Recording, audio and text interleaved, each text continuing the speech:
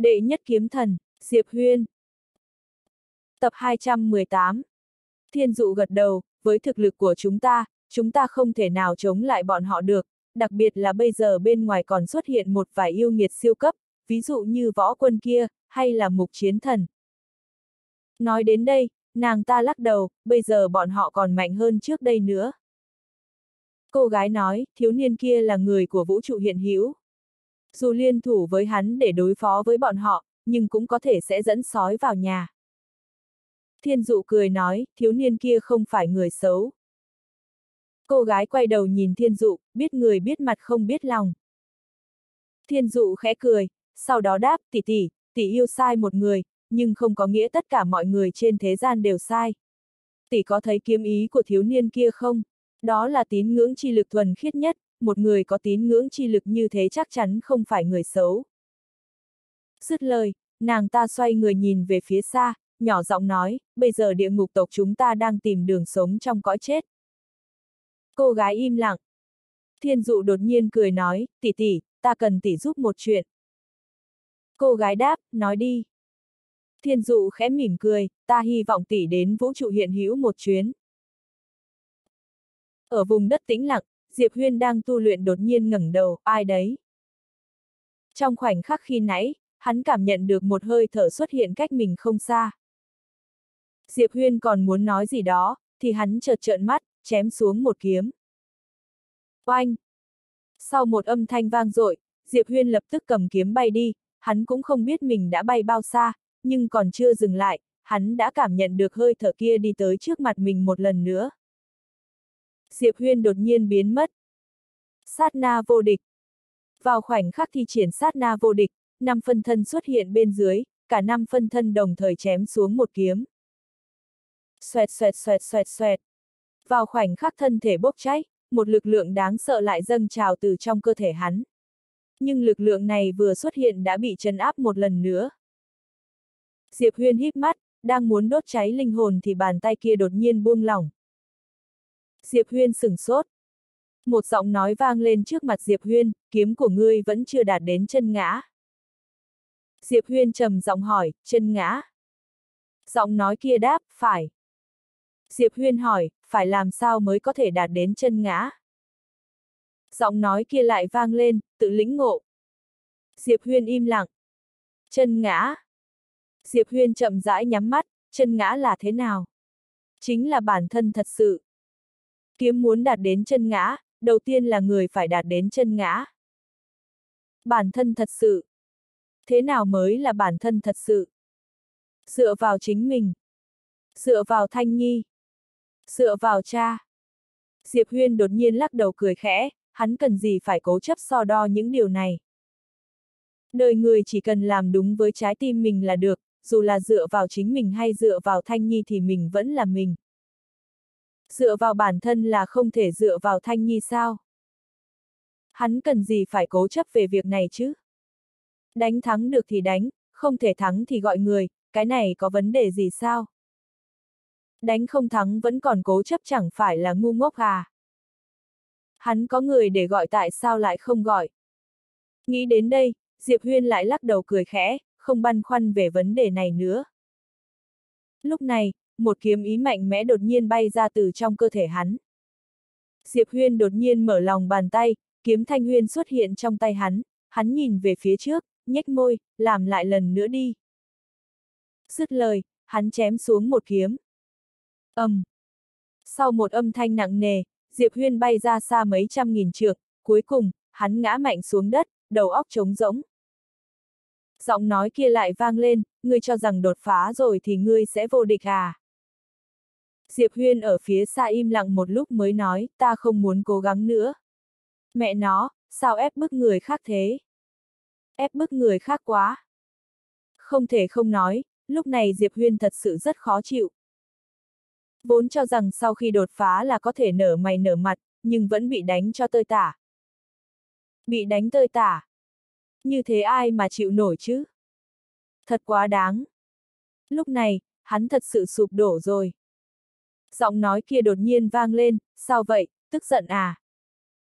Diệp Huyên lắc đầu, im lặng. Tức giận. hắn cũng không tức giận. Dù thật sự muốn sụp đổ, nhưng hắn không hề tức giận. Diệp Huyên ngồi xếp bằng, sau đó bắt đầu chữa thương, vì có đủ trụ mạch và đan dược chữa thương, cho nên không lâu sau đó, thân thể của hắn đã hồi phục. Diệp Huyên nhìn về phía xa, ngươi là. Giọng nói kia đáp, ngươi không cần quan tâm đến điều này. Nếu tình trạng thương tích không còn vấn đề gì thì đứng lên tiếp tục chiến đấu đi. Đứng lên tiếp tục chiến đấu. Diệp Huyên im lặng một lát, sau đó đột nhiên đứng dậy, biến thành một tia kiếm quang chém ra. Chiến đấu. Sau khi hoàn toàn đạt đến chân ngã, thực lực của Diệp Huyên đạt đến một tầm cao mới, nhưng hắn vẫn thua kém người thần bí trước mắt rất nhiều. Bị áp đảo hoàn toàn. Dù hắn có thi triển sát na vô địch vẫn không phải đối thủ của đối phương. Diệp Huyên cũng không tức giận, ngược lại, hắn còn cảm thấy đây không phải chuyện gì xấu, vì hắn phát hiện sau mỗi lần chiến đấu điên cuồng, hắn đều phát triển hơn rất nhiều. Cứ thế, ở vùng đất tình lặng này, Diệp Huyên ngoài việc tu luyện thì chỉ có chiến đấu điên cuồng. Mà kiếm của hắn cũng càng lúc càng nhanh, ngày càng sắc bén, chẳng những thế, sát na vô địch của hắn còn có thể phân ra 6 phân thân, so với trước đây, sát na vô địch bây giờ đã mạnh hơn không chỉ gấp mấy lần. Nhưng hắn vẫn không thể thắng được người thần bí này. Không biết đã bao lâu trôi qua, Diệp Huyên đột nhiên dừng lại, hắn nhìn về phía trước, tiền bối, ta phải làm sao mới có thể đạt đến thiên kiếp cảnh. Thật ra hắn có thể mượn kiếm thanh huyên để đạt đến thiên kiếp cảnh, nhưng hắn không làm thế, vì hành động đó chẳng khác nào gian lận, hơn nữa đạt đến thiên kiếp cảnh bằng cách như vậy cũng không xem là thiên kiếp cảnh chân chính. Lúc này, người thần bí kia nói, bây giờ ngươi vẫn chưa thể đạt đến thiên kiếp cảnh. Diệp Huyên khó hiểu, vì sao? Người thần bí nói, ngươi vẫn chưa đạt đến giới hạn của chân ngã cảnh, cũng chính là chân ngã chi giới. Chân ngã chi giới. Diệp Huyên vội vàng thi triển chân ngã chi giới, thật ra cũng chính là kiếm vực nhân gian của hắn, sau khi thi triển kiếm ý nhân gian, hắn kinh ngạc phát hiện mình vẫn chưa cảm nhận được người thần bí trước mặt. Người thần bí nói, kiếm vực này của ngươi rất mạnh, đặc biệt là sau khi có kiếm ý nhân gian gia trì, mạnh hơn cả chân ngã chi giới của người bình thường, nhưng như thế vẫn chưa đủ. Dứt lời, một lực lượng thần bí đột nhiên bao phủ lấy Diệp Huyên. Sắc mặt Diệp Huyên lập tức thay đổi. ầm, um. Trong nháy mắt, kiếm vực nhân gian của hắn bắt đầu sụp đổ, trong một khoảng thời gian ngắn, kiếm vực nhân gian đã hoàn toàn biến mất. Người thần bí nói tiếp, chân ngã chi giới là một kiểu kết giới, cũng có thể nói là một khu vực, trong khu vực của bản thân, có thể áp chế được đối phương, nhưng người biết phải làm thế nào mới có thể khiến sự áp chế này đạt đến mức tối đa không? Diệp Huyên cúi người hành lễ, xin tiền bối chỉ bảo. Người thần bí lại nói, tập trung một điểm. Diệp Huyên nhíu mày, tập trung một điểm. Người thần bí giải thích, phải. Chính là tập trung tất cả lực lượng lại một điểm, cũng giống như một bàn tay, so sánh sức lực của một ngón tay và nắm đấm sau khi siết chặt năm ngón tay lại, cái nào mạnh hơn. Diệp Huyên im lặng. Người thần bí nói, tín ngưỡng chi lực của ngươi rất mạnh, nhưng cách sử dụng của ngươi lại hơi sai lệch, nếu ngươi có thể biến những tín ngưỡng chi lực này từ phức tạp thành đơn giản, tập trung vào một điểm, thì uy lực của nó sẽ tăng lên gấp mấy lần. Diệp Huyên gật đầu, ta sẽ thử xem. Dứt lời, hắn chậm rãi nhắm mắt lại, thi triển kiếm vực. Vô số kiếm ý nhân gian tràn đầy trong kiếm vực, không biết đã bao lâu trôi qua, tất cả kiếm ý nhân gian đột nhiên hội tụ lại một điểm. Xoẹt! Một tiếng rách đột nhiên vang vọng. Diệp Huyên thầm thấy vui mừng, vì hắn phát hiện, uy lực thật sự đã tăng lên rất nhiều. Người thần bí nói, vẫn chưa đủ. Diệp Huyên gật đầu, ta hiểu. Dứt lời, hắn lại tiếp tục tu luyện. Những ngày sau đó, mỗi ngày Diệp Huyên đều không ngừng tu luyện, hết lần này đến lần khác, không ngừng theo đuổi giới hạn của bản thân, sau đó vượt qua nó. Không biết đã bao lâu trôi qua, cuối cùng kiếm ý nhân gian và kiếm vực nhân gian của Diệp Huyên đã đạt tới giới hạn của hắn. Mà lúc này, người thần bí kia lại xuất hiện. Diệp Huyên nhìn người thần bí trước mặt, không hề nhiều lời, hắn tiến lên một bước, kiếm vực lập tức bao trùm lấy đối phương, một khắc sau, kiếm thanh huyên chém tới. Trong nháy mắt, tất cả kiếm ý nhân gian hội tụ lại một điểm. Oanh! Một tiếng nổ lập tức vang vọng trong kiếm vực, một khắc sau, kiếm vực nhân gian và kiếm ý nhân gian ẩm ẩm vỡ tan, cùng lúc đó, một nắm đấm đánh thẳng vào bụng hắn. Bịch. Audio điện tử võ tấn bền. Diệp Huyên bay ra xa tận mấy trăm nghìn trường. Sau khi dừng lại, thân thể hắn lập tức vỡ tan, chỉ còn lại linh hồn. Diệp Huyên nằm im dưới đất, không nói một lời. Lúc này, bên tai hắn vang lên tiếng bước chân. Người thần bí đi đến bên cạnh Diệp Huyên, đứng lên. Diệp Huyên lắc đầu, để ta lấy lại bình tĩnh. Người thần bí. Một lúc lâu sau đó, Diệp Huyên chậm rãi đứng lên, trong mắt hắn tràn đầy sự kiên định, tiếp tục. Nói xong, hắn bắt đầu khôi phục thân thể. Chẳng mấy chốc, thân thể đã khôi phục. Diệp Huyên nhìn về phía trước, tiếp tục. Dứt lời, hắn lại xông lên một lần nữa, nhưng không có gì bất ngờ, hắn tiếp tục bị đánh bay. Cứ thế, Diệp Huyên không ngừng khiêu chiến người thần bí, nhưng vẫn bị đánh bay, thân thể liên tục vỡ tan, có điều hắn không hề tức giận. Không phải hắn đang tự hành hạ bản thân, mà là đang đuổi theo giới hạn của bản thân. Một tháng sau, Diệp Huyên nằm dưới đất, hai mắt khép hờ. Trong một tháng qua, thân thể hắn đã vỡ gần triệu lần, nhưng hắn cũng thu hoạch được rất nhiều điều, kiếm ý và kiếm vực nhân gian của hắn đã mạnh đến mức độ không thể tưởng tượng nổi rồi. Nhưng hắn vẫn không phải đối thủ của người thần bí này. Vẫn bị đánh bay trong nháy mắt. Không có gì bất ngờ. Người thần bí mạnh đến mức khiến người ta thấy tuyệt vọng. Một lát sau, Diệp Huyên đứng dậy, hắn nhìn về phía trước, hắn có thể cảm nhận được người thần bí đó đang đứng trước mặt mình. Diệp Huyên trầm giọng nói, tiền bối, người có thể hạ thấp cảnh giới đánh với ta một trận không? Người thần bí đáp, không thể. Diệp Huyên sửng sốt. Người thần bí nói tiếp, vì ta không có cảnh giới. Không có cảnh giới. Nghe vậy, Diệp Huyên sừng sốt, sau đó ngạc nhiên nói, gì cơ, người không có cảnh giới. Người thần bí khẳng định lại, phải. Diệp Huyên hơi do dự, sau đó nói, tiền bối, ta cũng có quen mấy người không có cảnh giới, người. Người thần bí hỏi, người đang nói đến tam kiếm à? Diệp Huyên gật đầu, tiền bối biết họ sao? Người thần bí đáp biết. Diệp Huyên trầm giọng nói, tiền bối có biết Thanh Nhi không? Người thần bí tiếp tục trả lời, biết. Diệp Huyên vội vàng hỏi, tiền bối và Thanh Nhi, ai lợi hại hơn? Người thần bí đáp, người hỏi nhiều thế làm gì? Dù sao cũng lợi hại hơn ngươi. Diệp Huyên đen mặt. Người thần bí tiếp tục, người tiếp tục đánh với ta, đánh nhau với ta lâu rồi, sau đó đi đánh nhau với người khác, có lẽ ngươi sẽ phát hiện điều bất ngờ đấy. Diệp Huyên gật đầu, sau đó lập tức chém một kiếm. Chiêu kiếm này vừa nhanh vừa chuẩn còn vừa ác. Theo Diệp Huyên thấy, dù về lực lượng hay tốc độ cũng đã đạt tới mức hoàn mỹ rồi. Nhưng vẫn không có tác dụng gì cả. ầm, um, Kiếm quang vỡ tan, Diệp Huyên lại bị đánh bay một lần nữa. Cũng giống như trước kia, sau khi bay ra ngoài, thân thể của hắn vỡ tan, chỉ còn lại linh hồn. Sau khi thân thể khôi phục, Diệp Huyên tiếp tục xông lên. Cứ thế, Diệp Huyên tu luyện thêm nửa năm ở vùng đất tĩnh lặng này.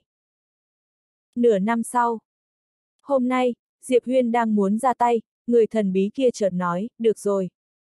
Diệp Huyên còn muốn hỏi thêm, nhưng hắn phát hiện người thần bí đã hoàn toàn biến mất, mà Diệp Huyên cũng không nhận ra vào khoảnh khắc người thần bí biến mất, kiếm thanh huyên trong cơ thể hắn khẽ rung lên.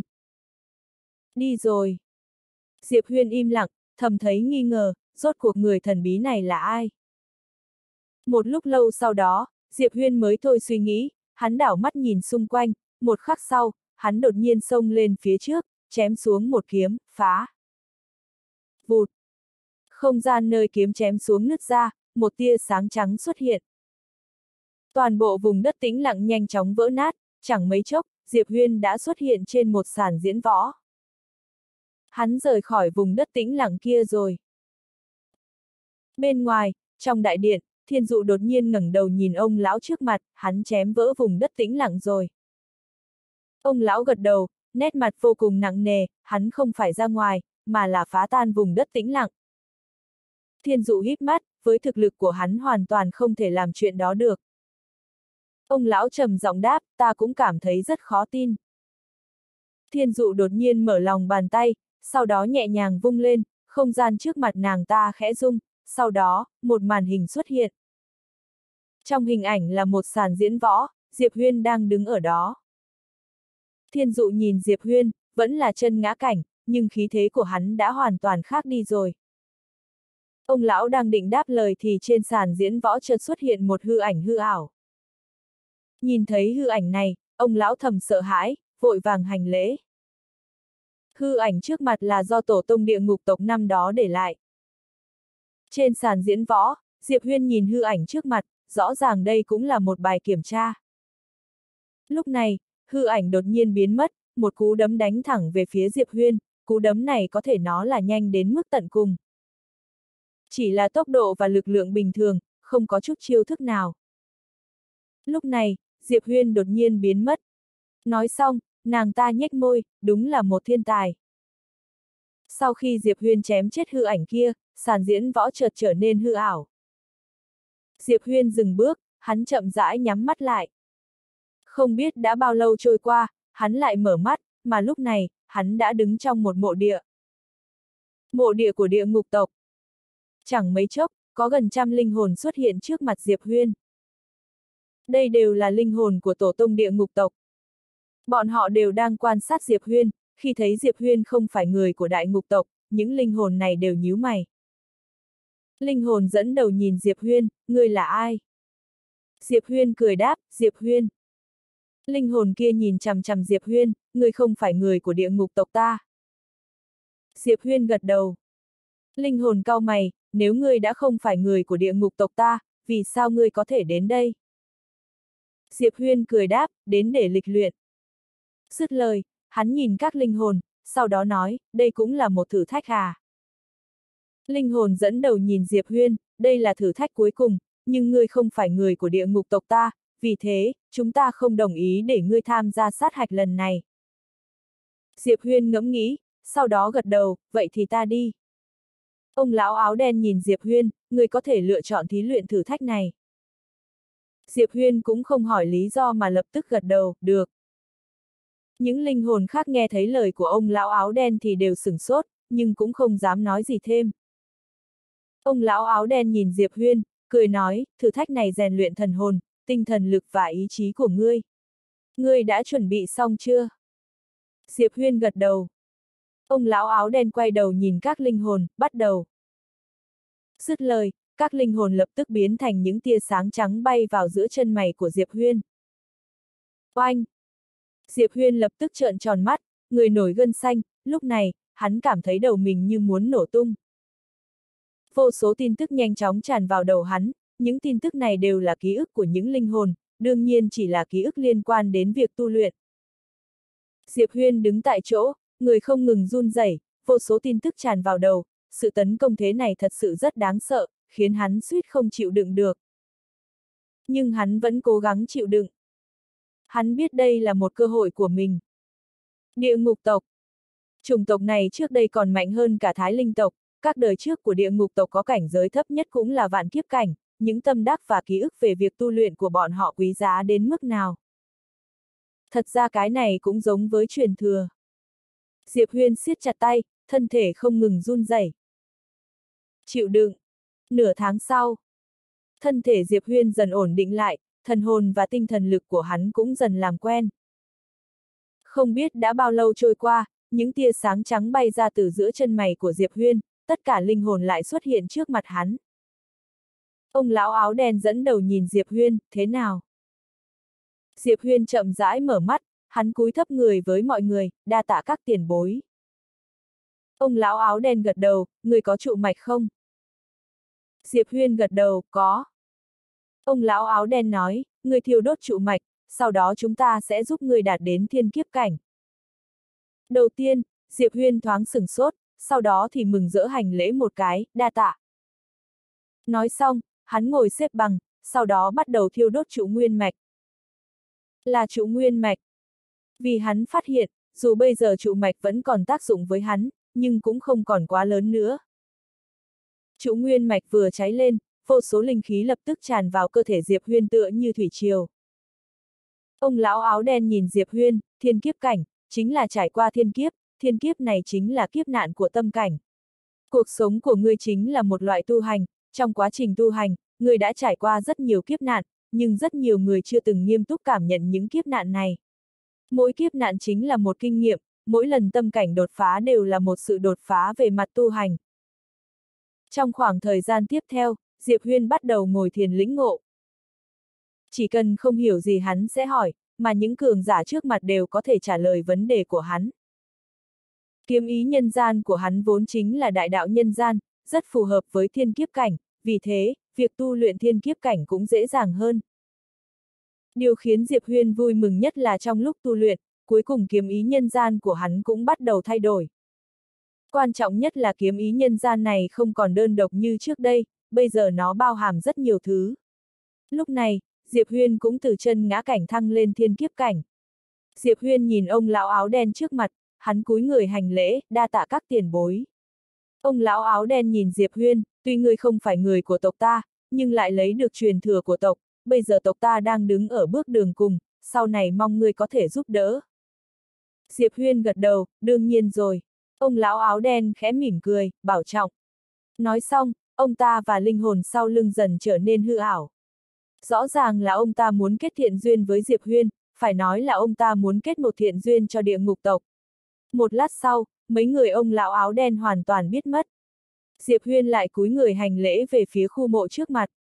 Lúc này, thời không xung quanh chợt trở nên hư ảo, không biết bao lâu trôi qua, khi Diệp Huyên mở mắt, hắn đã đứng trước lối vào con đường thí luyện địa ngục trước đó, trước mặt hắn chính là Thiên Dụ. Thiên Dụ nhìn Diệp Huyên, cười nói chúc mừng. Diệp Huyên cũng cười, đa tạ. Thiên Dụ quan sát Diệp Huyên, sau đó nói, người khiến ta rất bất ngờ. Diệp Huyên cười khẽ, sau đó hỏi, bây giờ ta có thể đánh thắng võ quân không? Thiên Dụ lắc đầu, không thể. Diệp Huyên im lặng, Thiên Dụ hỏi, người có biết lai lịch của nữ nhân này không? Diệp Huyên lắc đầu. Thiên Dụ nhẹ giọng nói, người này là thiên tài chân chính, nàng ta có tốc độ tu luyện nhanh nhất thái linh tộc từ trước đến nay, thiên phú cũng là tốt nhất. Điều đáng sợ nhất là nàng ta còn vô cùng nỗ lực phấn đấu. Lúc nàng ta là chân ngã cảnh đã có thể vượt hai cấp đánh bại võ quân nhiệm kỳ trước rồi, mà lịch sử kinh khủng nhất của nàng ta chính là vượt ba cấp đánh bại đối thủ, mà đối phương cũng không phải một kẻ yếu, đối phương cũng là một yêu nghiệt siêu cấp có thể khiêu chiến vượt hai cảnh giới. Nói xong, nàng ta nhìn Diệp Huyên, người muốn vượt cấp khiêu chiến nàng ta là rất khó. Diệp Huyên cười nói, không sao, dù gì cũng sẽ có một ngày ta khiến nàng ta quỳ xuống chịu thua. Thiên dụ thoáng ngây người, sau đó cười đáp, có thể có đấy. Ha ha, Diệp Huyên trầm giọng nói, tiền bối, những tiền bối ở mộ địa khi nãy đều là tổ tiên của địa ngục tộc đúng không? Thiên dụ gật đầu, Diệp Huyên hỏi, họ đều là cường giả vạn kiếp cảnh à? Thiên dụ cười đáp, họ không được xem là vạn kiếp cảnh chân chính, chỉ có thể xem là ngụy vạn kiếp cảnh thôi, vạn kiếp cảnh chân chính sẽ rất khó bỏ mạng, võ quân kia chính là vạn kiếp cảnh. Diệp Huyên cười hỏi, còn cô thì sao? Thiên dụ chớp mắt, người cảm thấy thế nào? Diệp Huyên cười nói, có lẽ cô cũng là vạn kiếp cảnh, đúng không? Thiên dụ khẽ mỉm cười, Diệp công tử, cậu có biết thực lực tổng thể của vũ trụ vô biên không? Diệp Huyên lắc đầu, ta chỉ từng tiếp xúc với Thái Linh tộc thôi. Thiên dụ nhìn Diệp Huyên, Thái Linh tộc chỉ là một phần nổi của tảng băng chìm. Diệp Huyên im lặng. Thiên dụ nhẹ giọng nói, Thái Linh tộc hiện tại có thể đứng thứ ba trong các gia tộc lớn ở vũ trụ vô biên đều là nhờ võ quân, đây là một người có thể chống lại ít nhất 10 cường giả vạn kiếp cảnh. Nhưng người phải nhớ kỹ một điều, nàng ta không phải người mạnh nhất ở vũ trụ vô biên. Diệp Huyên nghiêm túc hỏi, ai là người mạnh nhất ở vũ trụ vô biên? Thiên dụ cười đáp, ta không biết ai là người mạnh nhất, nhưng có ba người chắc chắn mạnh hơn võ quân. Một là tế sư thần bí kia, người này tinh thông thuật thần đạo cổ xưa, thực lực có thể nói là sâu không lường được. Thứ hai chính là vô biên chi chủ, người này rất thần bí, sau trận chiến năm đó, ông ta đã lui về ở ẩn tại mộ địa vô biên, chưa từng xuất hiện lại. Mộ địa. Diệp Huyên trầm giọng hỏi, ông ta không chết trận trong trận chiến năm đó à? Thiên dụ lắc đầu, vẫn chưa. Năm đó người này còn từng giao thủ với chủ nhân của bút đại đạo nữa. Chủ nhân của bút đại đạo. Diệp Huyên nhíu mày, chủ nhân của bút đại đạo. Thiên dụ gật đầu, nhưng không biết là ai thắng ai thua. Đương nhiên mọi người cũng đều biết sau trận chiến đó, tất cả cường giả của vô biên chi địa đều lùi về phía sau, vô biên chi chủ cũng ở ẩn tại mộ địa vô biên, chưa từng xuất hiện thêm một lần nào nữa. Diệp Huyên im lặng một lát rồi nói, vị trí thứ ba là ai? Nét mặt thiên dụ dần trở nên lạnh như băng, người thứ ba chính là tộc trưởng Ma La tộc, một thiên tài thông minh hơn người. Nghe nói người này còn đáng sợ hơn võ quân và tế sư, mà dưới sự thống trị của hắn ta, sau trận chiến năm đó, Ma La tộc chẳng những không bị ảnh hưởng nặng nề, ngược lại còn ngày càng lớn mạnh, không đúng, phải nói rằng Ma La tộc hiện tại là Ma La tộc mạnh nhất từ trước đến giờ. Nói xong, nàng ta chậm rãi nhắm mắt lại. Diệp Huyên gật đầu, không nói gì thêm nữa. Thiên dụ nhìn về phía Diệp Huyên, hình như người không sợ chút nào. Diệp Huyên ngẫm nghĩ, sau đó nói, bọn họ đông người, ta cũng có người mà. Thiên dụ cười hỏi, người của ngươi. Diệp Huyên gật đầu, ta đã nghĩ kỹ rồi. Chỉ cần bọn họ không quá đáng, ta sẽ không gọi người, nhưng nếu bọn họ muốn đấu xem ai đông người hơn. Nói đến đây, hắn nhún vai, sau đó nói, không giấu gì cô, về chuyện so kẻ chống lưng, ta chưa từng thua bao giờ. Thiên dụ, so chỗ dựa, Diệp Huyên không phải dạng người bảo thủ, suy nghĩ đó giờ đều vô cùng đơn giản, phe địch không lã ẩm gì quá đáng thì hắn cũng ngồi yên, nhưng bên kia đã làm tới thì hắn còn ngại gì mà không gọi người đến. Đánh thắng được thì đánh, không thắng được thì kêu cứu viện. Hắn không thấy làm vậy có gì xấu hổ cả. Kháo Sơn Vương à, chính là hắn đây, hắn vô liêm sỉ thế đấy. Dù sao hắn cũng chưa từng sổ ra mấy lời ngu ngốc như phải tự dựa vào bản thân mình này nọ. Thiên dụ bỗng hỏi, có dự định gì không? Diệp Huyên thu hồi suy nghĩ, đáp ta phải lên trên lại. Thiên dụ hạ giọng, ngươi chắc chứ? Diệp Huyên gật đầu, chắc chắn.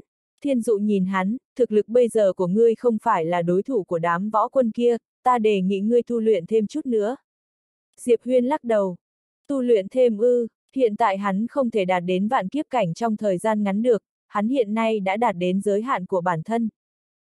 Thấy thiên dụ còn muốn nói gì, hắn cười, trước kia cô nói rất đúng, Diệp Huyên ta nếu không có người chống lưng cho thì còn là cái thá gì. Sở dĩ bọn họ không dám giết ta là vì người sau lưng ta, nhưng... Hắn nhếch mép, có chống lưng cũng đâu phải lỗi của ta, ta chẳng cần phải có gánh nặng tâm lý gì hết. Hôm nay ta sẽ nói cho chúng biết, ông đây có chống lưng, có chỗ dựa đấy. Đánh không lại thì gọi người đến, cho bọn chúng tức chết luôn. Thiên dụ im lặng nhìn hắn, chợt nhận ra người này hình như đã hoàn toàn chút bỏ được gánh nặng trong lòng rồi. Hoàn toàn vứt bỏ mặt mũi liêm sỉ. Diệp Huyên cười lên, thiên dụ cô nương, ân tình của địa ngục tộc, ta sẽ khắc ghi vào lòng, ngày sau có gì cần giúp đỡ cứ việc nói, chỉ cần trong khả năng cho phép, Diệp Huyên chắc chắn sẽ làm hết sức. Sau đó xoay người rời đi, thiên dụ gọi theo, người phải còn sống mới báo ân được. Nếu ngươi chết, Diệp Huyên vung tay phải lên, ta chết, cả vũ trụ sẽ chôn cùng, báo ân cũng không còn ý nghĩa nữa. Thiên dụ nhìn theo hắn đi xa, mất một hồi lâu mới lầm bầm, hắn đang ra vẻ đấy à. Tuy địa ngục có rất nhiều cấm chế và phong ấn nhưng Diệp Huyên vẫn dễ dàng trở lại mặt đất nhờ sự giúp đỡ của thiên dụ. Sau khi lên mặt đất lại, việc đầu tiên hắn làm là đi thẳng đến Thái Linh tộc. Diệt tộc ư, không, hắn hiện không có năng lực này, đứng ở trên bầu trời Thái Linh tộc, Diệp Huyên vươn tay gọi kiếm Thanh Huyên ra, đoạn gào xuống với bên dưới, nghe nói Thái Linh tộc nhân tài xuất hiện lớp lớp, ông đây không phục, đến đây khiêu chiến, chỉ giới hạn trong thế hệ trẻ. Thế hệ trẻ của Thái Linh tộc, vô số cường giả bên dưới rối rít ngẩng đầu nhìn lên. Một người phụ nữ xuất hiện trước mặt Diệp Huyên, chính là võ quân của Thái Linh tộc. Nàng ta nhìn hắn, thiên kiếp, Diệp Huyên lạnh nhạt nói, võ quân, ta thừa nhận ta đánh không lại cô. Cô có muốn ỉ lớn hiếp nhỏ ta cũng không làm gì được, nhưng ta khuyên cô tốt nhất đừng làm vậy. Ta sống trên đời, ngày nào cũng làm bộ làm tịch, nhưng hôm nay ta chân thành nói rằng, chỉ cần cô không ỉ lớn hiếp nhỏ, Diệp Huyên ta sẽ không gọi người đến.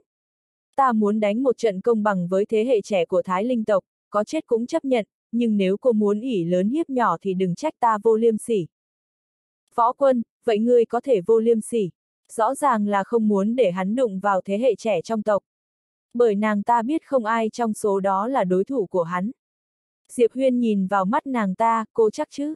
Võ quân gật đầu, chắc chắn, Diệp Huyên cười ha hả, chính cô không muốn đánh công bằng. Chính cô muốn ỉ lớn hiếp nhỏ. Hôm nay Diệp Huyên ta sẽ tàn sát thái linh tộc, tàn sát trước mặt cô.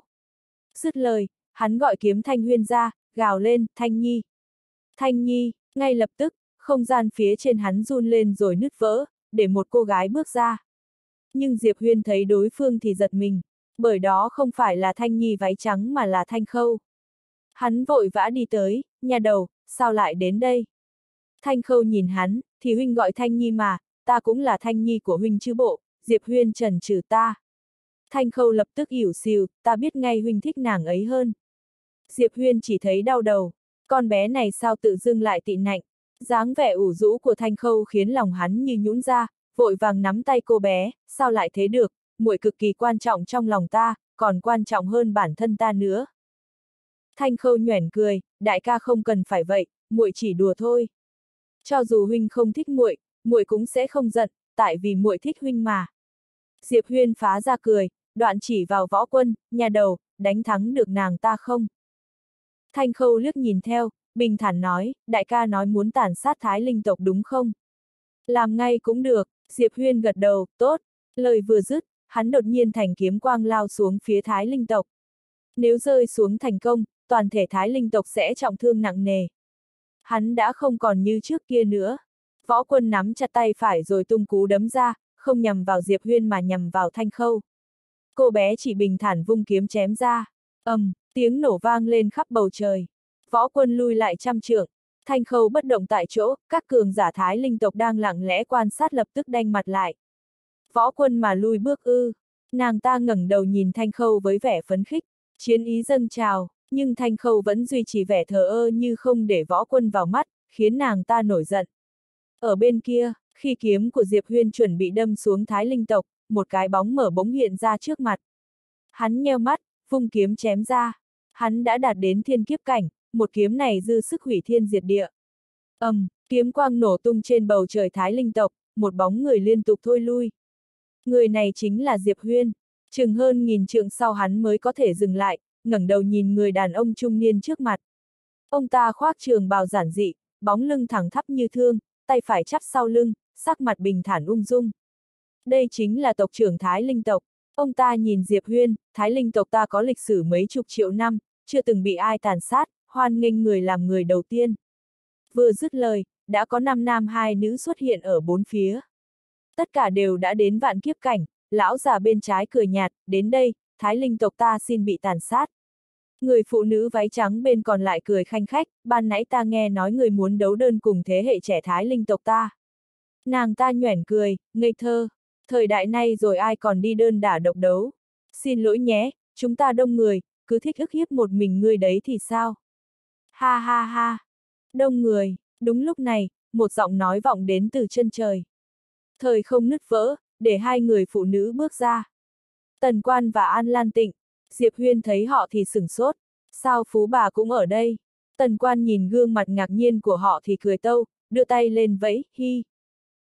Diệp Huyên, người phụ nữ váy trắng nhìn Tần Quan và An Lan Tịnh, khẽ cười, chỉ hai người ư. Ngươi, An Lan Tịnh bỗng dưng biến mất, đồng tử người phụ nữ rụt lại, lập tức tung quyền. ầm, um, tiếng nổ vang lên, người phụ nữ bị đánh bay đi mấy vạn trượng, khi vừa dừng lại đã bị một cây thương bạc đâm xuyên qua giữa chán, đóng đinh tại chỗ. Nàng ta ngây ngẩn cả người. An Lan Tịnh, ta mắng người phế vật, người không phản đối chứ. Người phụ nữ tức giận, An Lan Tịnh lại biến mất, sau đó đột nhiên hiện ra đá vào cán thương. Quỳnh người phụ nữ nổ tung tại chỗ, thần hồn câu diệt. Tộc trưởng Thái Linh tộc và những người khác thấy vậy thì đanh mặt lại, trong mắt tràn đầy khó tin. An Lan Tịnh vươn tay ra gọi cây thương trở về, đoạn quay qua nói với họ, ta mắng các người phế vật, không ai phản đối chứ. Sắc mặt bọn họ trở nên khó coi. Giết vạn kiếp cảnh trong nháy mắt ư. Các cường giả thái linh tộc không khỏi chấn động. Người phụ nữ kia tuy chưa đến vạn kiếp cảnh nhưng cũng không yếu tới mức có thể bị giết trong nháy mắt như vậy. An Lan Tịnh nói với Diệp Huyên, tàn sát đi, tàn sát. Diệp Huyên không hề do dự, lập tức hóa thành kiếm quang lao xuống Thái Linh tộc.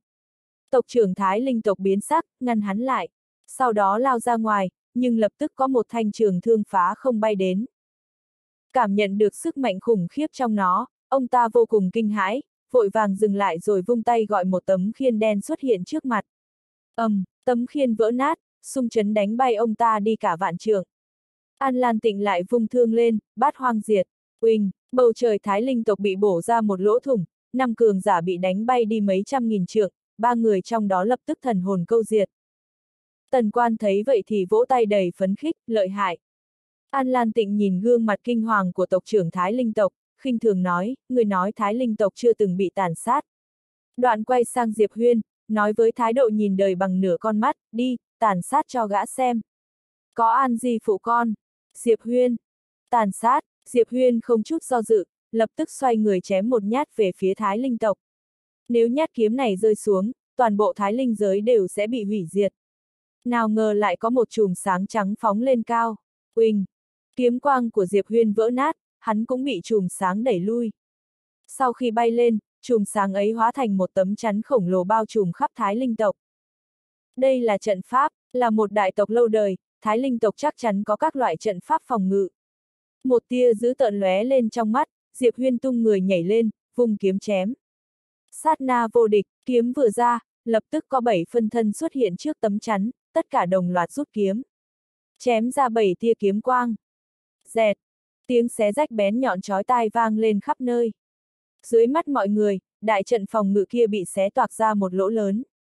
Diệp Huyên hóa thành kiếm quang chui vào, mang theo kiếm quang ập xuống như thác đổ. Người Thái linh tộc bên dưới biến sắc kịch liệt. Đúng lúc này, một cái bóng mở phóng từ sâu tít bên trong Thái linh tộc lên cao, mang theo sức mạnh khủng khiếp xé nát chân trời, nện vào kiếm quang của Diệp Huyên ầm, um, tiếng nổ rền vang như sấm dậy khắp đất trời. Kiếm quang vỡ nát, Diệp Huyên lùi lại. Sắc mặt có phần xấu xí. Hắn đã đánh giá thấp Thái Linh tộc rồi, nhưng cũng không có gì ngạc nhiên, bọn họ có thể đứng vào ba hàng đầu của vũ trụ vô biên này chứng tỏ cũng không phải đơn giản. Hắn thu hồi suy nghĩ rồi nhìn về người cách đó mấy trăm trượng. Đó là một lão già gầy nhom như que củi, tay chống quải trượng rất dài, đang trừng trị nhìn hắn. Sau đó, vô số luồng khí tức khủng khiếp bắn lên cao từ Thái Linh tộc. Chẳng mấy chốc sau, đã có mấy chục cường giả bí ẩn xuất hiện khắp nơi tất cả đều đã đến vạn kiếp cảnh, khí tức lại hùng hậu vô cùng, tuy không bằng võ quân nhưng vẫn hơn người phụ nữ váy trắng và đồng bọn của bà ta nhiều. Họ là Thái Linh thần vệ, một nhóm đạo binh do Thái Linh tộc dốc lòng đào tạo, có thể nói là một trong những con bài tẩy mạnh nhất của họ. Lão già đứng đối mặt với Diệp huyện chính là thủ lĩnh của họ, Thái Linh Ngạo. Ban đầu bọn họ còn định giấu mặt, nhưng sau khi chứng kiến thực lực của Thanh Khâu và An Lan Tịnh thì không dám nữa. Nơi xa, Linh hồn của tộc trưởng Thái Linh tộc bỗng rít lên, các ngươi chỉ định đứng nhìn thôi hả? Muốn Thái Linh tộc ta tiêu hao chứ gì? Sao lại thế được? Một tiếng cười khẽ vọng đến từ chân trời khi một cô gái chậm rãi đi đến. Là tế sư của vũ trụ vô biên, vẫn mặc trường bào màu đen theo phong cách diêm rúa lòe loẹt. Đi theo bên cạnh là một lão già và hai gã trung niên. Lão già chính là mộ chủ mà Diệp Huyên từng có duyên gặp qua mấy lần, còn hai người kia là quân đế và thương thánh. Thấy họ xuất hiện, tộc trưởng Thái Linh tộc mới thở phào nhẹ nhõm. Tế sư hết nhìn Diệp Huyên rồi nhìn sang nơi Thanh Khâu và võ quân vừa giao chiến hai hiệp sau, hiện đã tạm thời đình chiến. Thanh Khâu vẫn bình thản vô cùng, nhưng sắc mặt võ quân đã đanh lại. Vẫn nhìn Thanh Khâu, tế sư khẽ cười, kiếm tu. Thú vị, đoạn ả ta nhắm mắt lại, lầm rầm niệm chú. Đất trời dần dần rung chuyển, sau đó thời không phía trên Thanh Khâu nứt ra, để một ngọn lửa màu đen giáng xuống khi nó xuất hiện cũng là lúc thiên địa dần tan chảy. Nó là vô biên thần hỏa, ngọn lửa đầu tiên sinh ra tại vũ trụ vô biên, hấp thu vô số thần lực hỗn độn, tự thành linh trí, đứng đầu vạn hóa. Không có gì mà nó không đốt được, chứng tỏ tế sư cũng đánh giá thanh khâu rất cao mới trực tiếp sử dụng nó. Thanh khâu chỉ điềm tĩnh nhìn, khi vô biên thần hỏa chỉ còn cách tầm trăm trượng, nàng ấy bỗng vung tay, để một tia kiếm quang phóng ra. Xoẹt, kiếm quang xé nát hết thảy, chém vào vô biên thần hỏa. Dưới những ánh mắt chăm chú, kiếm của thanh khâu va chạm với ngọn lửa. ầm, um, bọn họ sững sờ nhìn thấy vô biên thần hỏa nổ vụn ra như pháo hoa, ánh lửa bắn tung tóe đến từng góc trong thiên địa. Chỉ trong một thoát, đất trời đã hóa thành một chiếc mạng nhện khổng lồ, một nửa tan chảy thành màu đen đặc, quỷ dị vô cùng. Việc vô biên thần hỏa vỡ vụn khiến nụ cười ung dung của tế sư biến mất. Các cường giả đi theo ả cũng đanh mặt lại. An Lan Tịnh chỉ bình tĩnh nhìn Thanh Khâu. Tần quan lại cười tâu tuét đầy phấn khởi, lợi hại. Quá lợi hại, ta ghen tị với các người ghê, ai ngờ đánh nhau mà cũng giữ vậy, không như ta toàn phải dùng ngoại vật. Rồi lắc đầu thở dài, làm An Lan Tịnh không nhìn được mà liếc xéo. Cô nương này quả thật không biết đánh nhau, nhưng những món thần vật của nàng ta khiến ngay cả nàng ấy cũng phải kiêng kỵ. Thanh Khâu bỗng cười với Diệp Huyên, đại ca chớ lo, hôm nay huynh muội ta chắc chắn sẽ giết sạch thái linh tộc này. Diệp Huyên cười ha hả, giết hết. Sau đó hắn nhìn xuống, chuẩn bị tiếp tục ra tay thì lại thấy mấy chục cường giả vạn kiếp cảnh xuất hiện, sắc mặt bèn xa sầm. Tế sư lên tiếng, ta giữ chân kiếm tu này, mộ chủ và võ quân bám lấy hai cô nương kia. Những người còn lại, bắt tên kiếm tu vô liêm sỉ đó. Vô liêm sỉ tất nhiên là đang chỉ Diệp Huyên rồi. Dứt lời, tế sư biến mất tại chỗ. Thanh khâu vùng kiếm chém ra. ầm, um, tế sư hóa thành một cái bóng mở lui lại vạn dặm, sau đó nhìn thấy thời không quanh thanh khâu mở đi. Cô bé lại giơ tay vung kiếm. Xoẹt, thời không trước mặt nứt ra rồi khôi phục lại bình thường. Đã có một cái bóng vọt đến trước mặt thanh khâu chính là tế sư. Thanh khâu lại vung kiếm. ầm, um, kiếm quang vỡ vụn, bóng mở lui lại hơn vạn trượng. Đây lui tế sư đi rồi. Thanh khâu quay lại, thấy Diệp Huyên đang bị một nhóm cường giả bao vây. Cô bé lập tức vung tay, thả kiếm bay ra, xoẹt. Thủ lĩnh Thái Linh thần vệ đi đầu lập tức biến sắc, xoay người tung cú đấm. Phập, kiếm của Thanh Khâu đâm vào tay ông ta, từ đó đóng đinh vào cơ thể. Thanh Khâu khép ngón tay lại, điều khiển kiếm bay ra khỏi cơ thể đối phương rồi hóa thành kiếm quang vung ngang. ầm, um, chỉ trong chớp mắt, các thái linh thần vệ đang nhào vào Diệp Huyên bị đẩy đi mấy vạn trượng. Tế sư thấy vậy, sắc mặt trở nên nghiêm trọng vô cùng. Cô gái này rốt cuộc là ai? Thanh Khâu nói với Diệp Huyên, đại ca đi tàn sát đi, bọn này giao cho ta. Diệp Huyên gật đầu, được. Sau đó lao xuống Thái Linh tộc. Cường giả Thái Linh tộc thấy thế thì biến sắc, nhưng chưa kịp đi cản hắn lại thì đã có một luồng kiếm quang vung tới. Uỳnh, bọn họ lại bị đánh bay. Thanh Khâu lạnh lùng liếc nhìn cả bọn, ta không giết, mà sẽ để các ngươi tận mắt nhìn đại ca ta tàn sát Thái Linh tộc các ngươi. Rồi nói với tế sư, còn con mụ diêm rúa bên kia, đợi chốc nữa đại ca đến xử lý. Tế sư bật cười, các hạ nói như thể đã vô địch vậy, thanh khâu bỗng vung kiếm chém ra.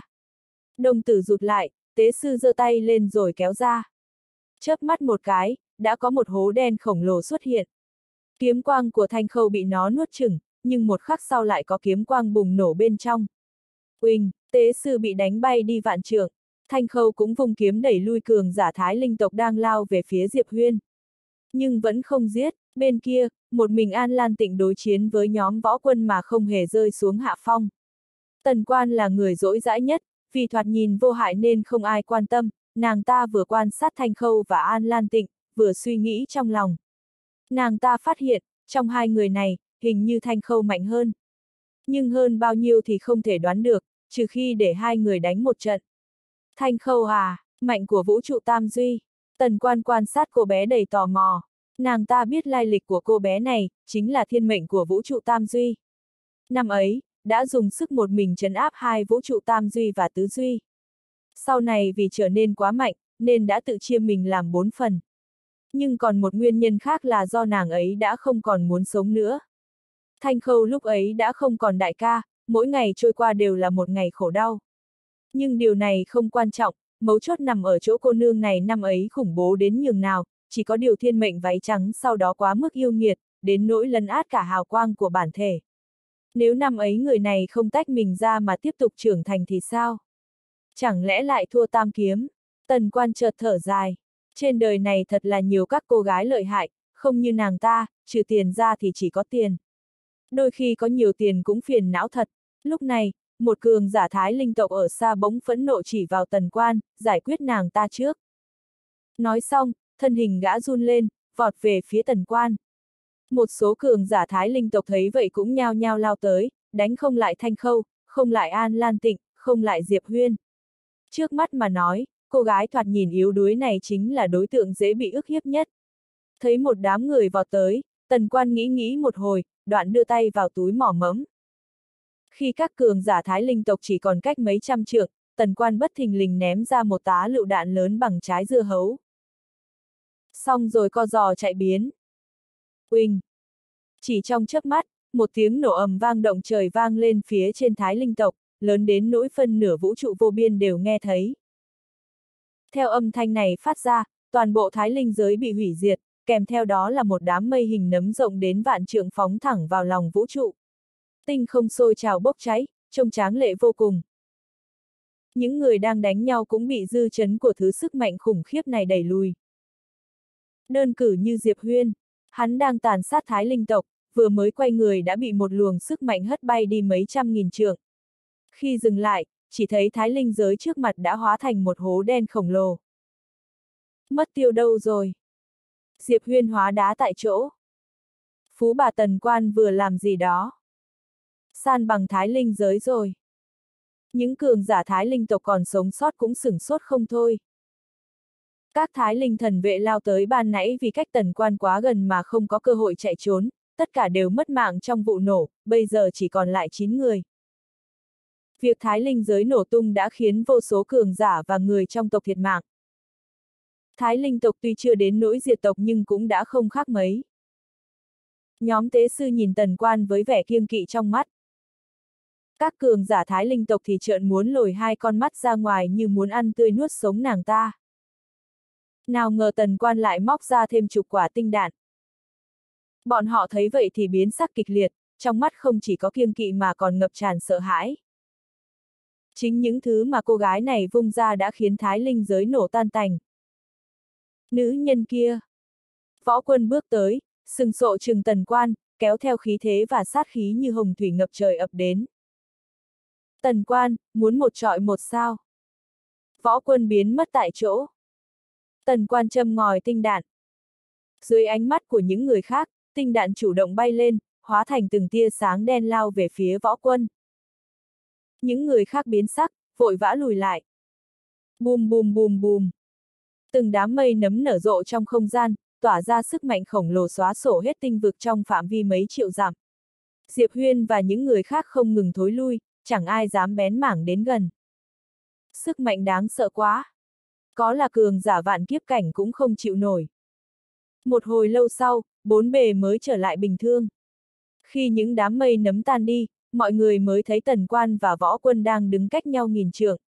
Khóe môi võ quân có một vệt đỏ thắm, cánh tay phải đã biến mất.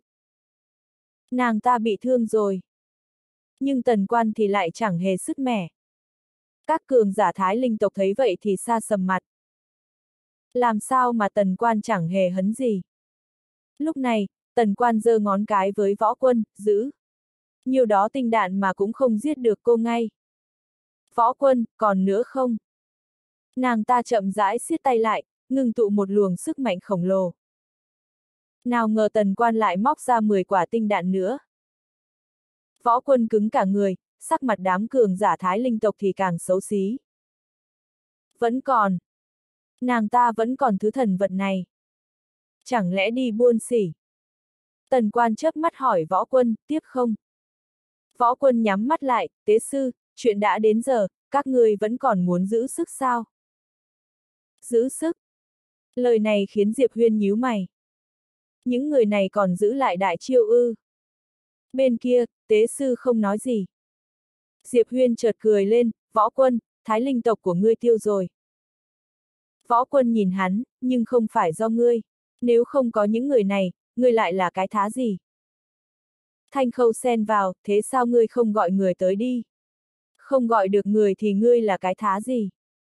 Võ quân quay sang, thấy thanh khâu cười nhạt, chẳng lẽ ngươi không ỉ lớn ức hiếp đại ca ta? Đã vậy còn khinh huynh ấy gọi chi viện, ta cho rằng đại ca đã mặt dày rồi, không ngờ ngươi còn dày hơn. Diệp Huyên nghe vậy thì đen mặt, nha đầu, nói gì đấy? Thanh khâu chớp mắt tròn xoe, cười rúc rích, nhưng ta thích đại ca mặt dày vậy cơ.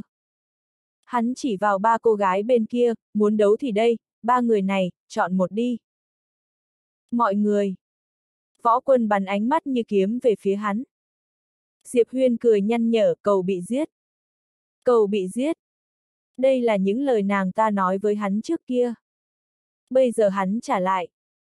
Võ quân đột nhiên biến mất, vô số cái bóng mở thoát cái lao đến trước Diệp Huyên, tốc độ nhanh đến mức đã sắp vượt qua giới hạn phản ứng và ý thức của con người. Nhưng một khắc sau đó, kiếm quang chém tới. ầm, um. Bóng mở vỡ vụn, võ quân trở về vị trí cũ. Sau khi dừng lại, nàng ta nhìn về phía người vừa xuất kiếm không ai khác ngoài thanh khâu. Thanh khâu nhìn lại, bà tưởng thế là hết ư. Đoạn nói với Diệp Huyên, đại ca, Thái Linh tộc còn chưa chết hết. Chúng ta lập tức giết sạch tộc nhân trước mặt bà tộc trưởng này, cho nàng ta còn lại một mình chơi. Diệp Huyên gật đầu, được. Hắn nhìn những cường giả thái linh tộc còn sót lại, sau đó lao tới. Xoẹt. Một tia kiếm quang vung ra. Võ quân nheo mắt, nắm chặt tay trái, nào ngờ lại bị một luồng kiếm thế bao trùm. Chính là Thanh Khâu. Cô bé nói, không giết ngươi là để ngươi tận mắt thấy thái linh tộc bị tàn sát. Sắc mặt võ quân vặn lại vì dữ tợn, ngươi là cái thá gì? Nàng ta chập ngón tay lại, ấn vào giữa chán mình. Quỳnh, Thân hình nàng ta run lên kịch liệt, khí tức cũng không ngừng tăng vọt. Nhóm tế sư thấy vậy thì cả kinh. Võ quân đã dùng bí pháp thần thông gì sao? Chỉ thấy nàng ta bước tới một bước. Nhóm mộ chủ gật đầu. Ở bên kia, võ quân, mở bừng mắt, đối diện với thanh khâu. Chân thân pháp tướng lơ lửng phía trên nàng ta tung nắm đấm ra. Quyền ấn vàng rực mang theo khí thế ngút trời ập tới, bên trong còn ẩn chứa vô số lôi kiếp. Cú đấm này bao hàm vô số đại đạo và kiếp nạn, đủ sức hủy diệt toàn bộ một vùng vũ trụ. Một số cường giả vạn kiếp cảnh ở bốn phía cảm nhận được sức mạnh khủng khiếp này đều không kiềm được mà dùng mình. Đối với họ, thứ đáng sợ nhất trên đời chính là những kiếp nạn kia, vậy mà cường giả thần kiếp cảnh lại nắm trong tay vạn kiếp. Ở đối diện võ quân, Thanh Khâu chỉ bình thản nhìn quyền ấn lao tới. Thời không đen nhánh quanh nàng ấy một lần nữa bốc cháy. Sắp sửa bị hủy diệt. Đúng lúc này, Thanh Khâu đâm kiếm ra. Xoẹt. Kiếm quang lóe lên. Những người khác nhìn thấy kiếm quang kia đâm vỡ quyền ấn chứa đựng vạn kiếp, sau đó lao tới với một tốc độ khủng khiếp, chỉ trong chớp mắt đã cắm xuyên vào đầu chân thân thần tướng của võ quân. quỳnh, Chân thân kia run rẩy kịch liệt trước khi vỡ ra thành vô số mảnh vỡ tán loạn. Võ quân phun ra một mồm đầy máu, cả người mềm oặt khuỵu xuống. Đám tế sư thấy vậy thì đanh mặt, ai nấy đều lộ vẻ nghiêm trọng vô cùng. Đồng thời cũng nhìn thanh khâu. Cô gái này rốt cuộc mạnh đến cỡ nào vậy? Tế sư không thể tin vào mắt mình. À ta vốn cho rằng thanh khâu có thể là bán bộ thiên kiếp cảnh, nhưng bây giờ hóa ra không phải. Nhà đầu cầm kiếm này có thể đã đạt đến thiên kiếp cảnh chân chính, hoặc thậm chí cao hơn. Vũ trụ hiện hữu từ khi nào lại xuất hiện những cường giả này. Võ quân cũng khó tin không kém. Nàng ta không ngờ cô gái này chỉ dùng một kiếm duy nhất đã chém vỡ chân thân thần tướng của mình. Thanh khâu lại không thèm để ý đến nàng ta mà đi đến bên cạnh Diệp Huyên, vung kiếm chém ra. Xoẹt! Diệp Huyên xa sầm mặt mũi, thầm nhủ nha đầu này ăn nói không khéo léo gì hết. Làm hắn cũng xấu hổ theo. Nhưng mà đã được tạo điều kiện, thì phải ra vẻ cho đáng. Hắn lạnh lùng quét mắt nhìn những cường giả còn lại, còn ai nữa? Mọi người! An Lan Tịnh nhìn hắn đầy cổ quái. Tần quan thì giơ ngón cái, ghê, dữ dội luôn. Đến cả người mặt dày cả thước như Diệp Huyên mà tự dưng cũng thấy hai má nóng lên. Bỗng nhiên, võ quân thét vào mặt tế sư, thái linh tộc đã bị tiêu diệt, người còn chờ cái gì nữa? Sau một hồi im lặng, tế sư mới đáp, võ quân, chúng ta không thể chống lại sức mạnh của cô gái này. Nàng ta đã hiểu ra rồi. Trong ba cô gái này, Tần Quan và An Lan Tịnh còn xem như là người, nhưng nữ kiếm tu kia thì không. Bởi vì nàng ấy từ nãy đến giờ căn bản không hề dùng hết sức. Ngay cả khi võ quân sử dụng chân thân thần tướng, đối phương cũng chỉ vung kiếm chứ không hề dốc hết sức. Diệp Huyên chợt cười lên, nói với võ quân, tưởng ngươi khinh trò gọi người thế nào, bây giờ cũng muốn kêu chi viện rồi sao? Tần quan nói, tiêu chuẩn kép điển hình ấy mà. Diệp Huyên quay lại hỏi, tiêu chuẩn kép là sao? Tần quan chớp mắt, là việc mà người ta làm thì nàng ta xem thường, nhưng nàng ta làm thì lại xem là chuyện đương nhiên. Tiêu chuẩn kép nghĩa là áp tiêu chuẩn của thánh nhân lên kẻ khác, nhưng với bản thân thì dùng tiêu chuẩn của tiện nhân. Diệp Huyên giơ ngón cái lên, nói hay lắm. Sau đó quay sang võ quân, đồ chó tiêu chuẩn kép. Võ quân phẫn nộ vô cùng, tung cú đấm về phía hắn. ầm, um. Quyền ấn mang theo khí thế ngút trời ầm ầm lao tới. Thanh khâu vung tay lên. Xoẹt. Một tia kiếm quang phá không vụt ra, khiến quyền ấn biến mất trong chớp mắt. Thanh khâu nói, có bản lĩnh thì đánh ta này, đụng vào đại ca làm gì. Đồng tử tế sư rụt lại, vùng pháp trượng lên, để vô số năng lượng nguyên tố ổ ạt chút xuống. Nàng ta không dám xem thường thanh khâu. Nhưng khi kiếm thanh huyên bay tới, những năng lượng nguyên tố kia đồng loạt vỡ vụn. Bốp! Dưới ánh nhìn của mọi người, tế sư bị đánh văng đi mấy vạn trượng. Khi dừng lại thì thân xác vỡ toang, chỉ còn lại linh hồn.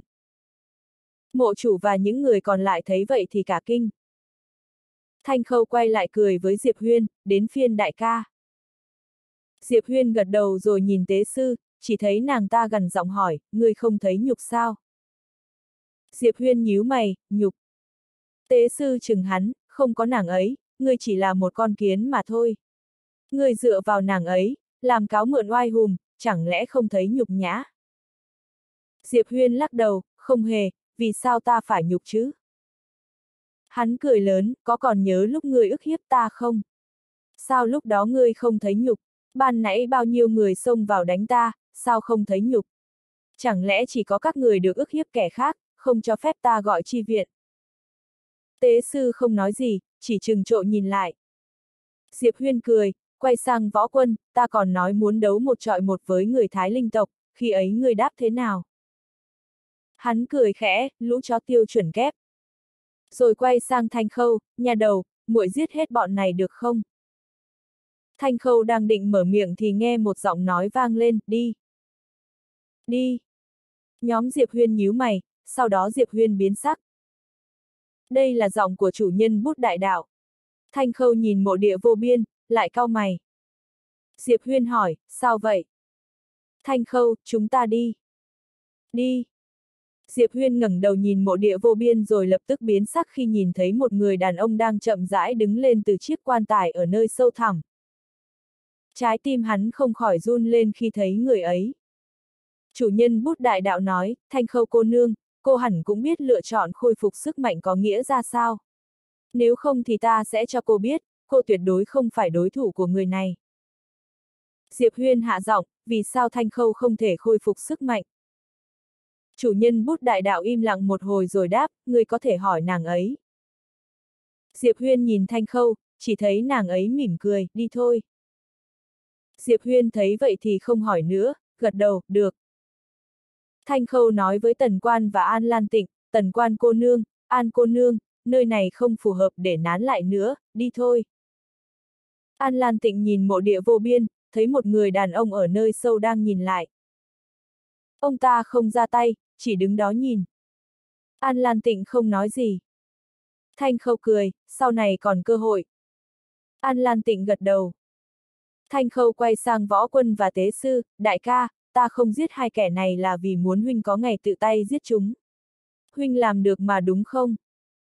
Diệp Huyên gật đầu, được. Thanh Khâu, vậy đi thôi. Sau đó bọn họ cùng nhau biến mất. Còn lại nhóm tế sư xoay người về phía mộ địa vô biên, khẽ thi lễ. Người đàn ông kia chính là người đứng đầu vũ trụ vô biên. Ông ta đứng trên quan tài, ngẩng đầu nhìn về chân trời, khẽ cười, chủ nhân bút đại đạo, người thấy việc này công bằng sao? Chủ nhân bút đại đạo, người cũng biết trên đời này không có gì là công bằng tuyệt đối. Chủ nhân bút đại đạo, có gì phải buồn? Chẳng lẽ ta không cần sống, không cần ăn? Ta để ý ai thì lấy lòng người đó, bọn họ để cho ta sống, việc này không có gì đáng buồn. Người đàn ông nhìn chân trời, tôn nghiêm ở đâu? Cốt khí ở đâu? Chủ nhân bút đại đạo lạnh nhạt, mục đích của ta là khiến người ta quan tâm vui vẻ là được.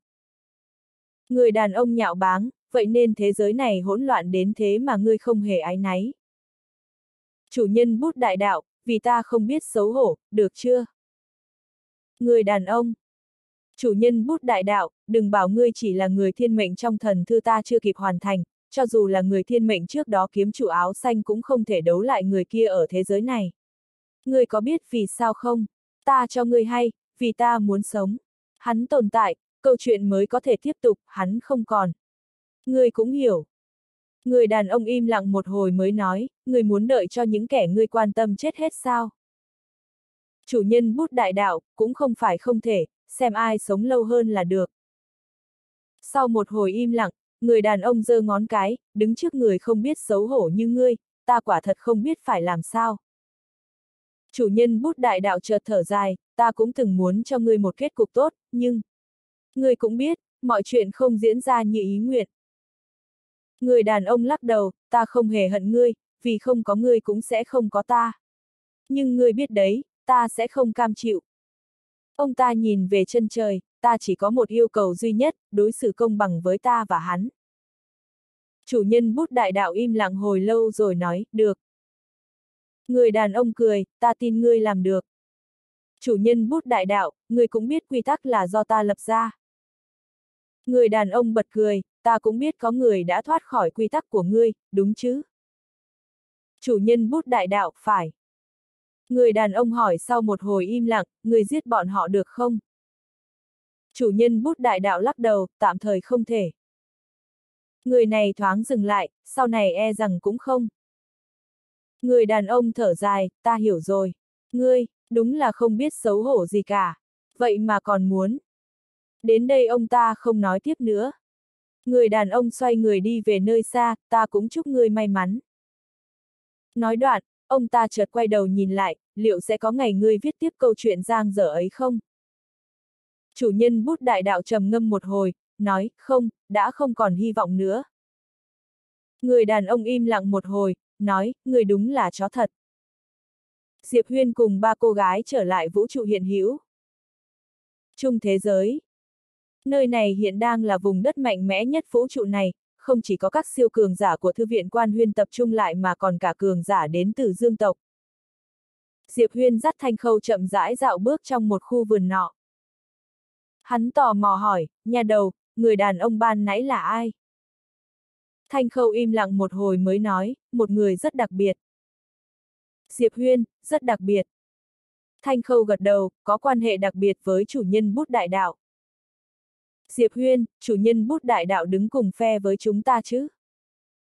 Thanh khâu nghĩ ngợi, tạm thời là vậy. Tạm thời. Diệp Huyên lắc đầu cười, sau này có thể sẽ không. Thanh khâu gật đầu. Diệp Huyên im lặng. Hắn vẫn ôm lòng kiêng kỵ với vị chủ nhân bút đại đạo này. Thanh khâu bỗng nói, đại ca đã đến thiên kiếp cảnh rồi sao? Diệp Huyên gật đầu, nhếch miệng cười, muội chưa sao? Thanh khâu búng tay một cái. Tách. Lập tức đạt đến thiên kiếp cảnh. Diệp Huyên sượng chân. Thanh khâu nháy mắt, lợi hại không? Diệp Huyên lắc đầu cười, xoa đầu cô bé, lợi hại ghê gớm.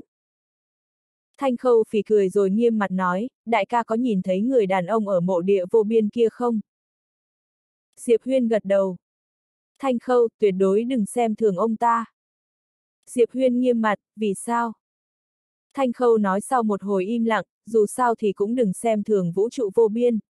Nếu muội đoán không sai, trong thời gian sắp tới bọn họ hẳn sẽ không xuất hiện trở lại.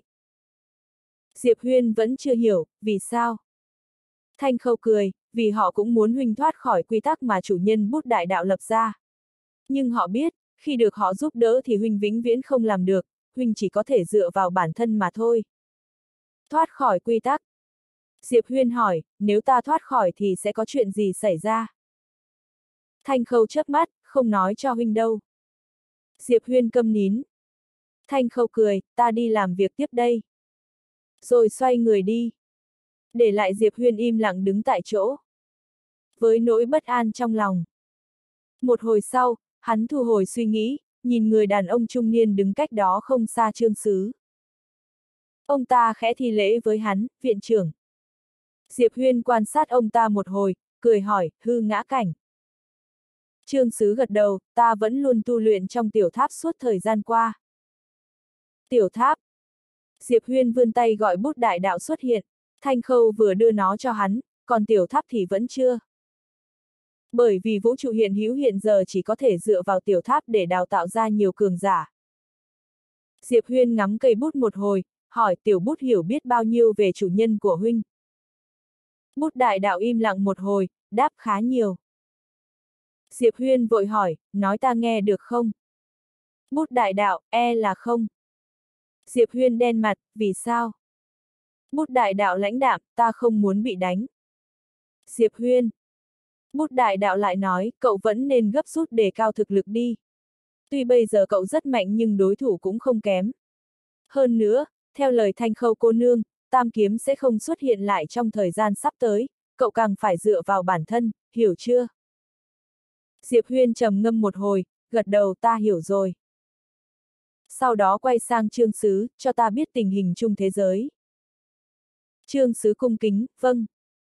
Trong khoảng thời gian hắn rời khỏi, chung thế giới đã xảy ra biến hóa long trời lở đất kể từ khi có dương tộc gia nhập.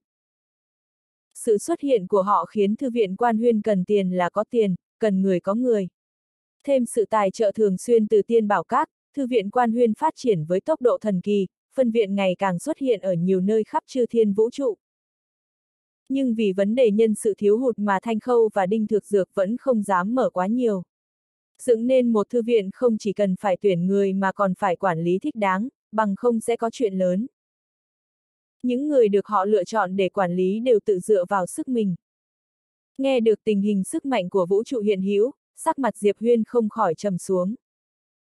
Người có chiến lực cao nhất nơi này chắc chắn là An Lan Tịnh và Thanh Khâu, nhưng dưới họ thì không có ai có thể so sánh cùng vũ trụ vô biên. Bởi cường giả vạn kiếp cảnh vẫn không có bao nhiêu, mà số đó đều là những người sống sót từ thời vạn tộc. Diệp Huyên có biết một chút về giai đoạn lịch sử ấy. Năm đó, vũ trụ hiện hữu căn bản không có cửa so sánh với vũ trụ vô biên, nếu không có chủ nhân bút đại đạo can thiệp thì đã bị nuốt trọn. Hắn thấp giọng thở dài.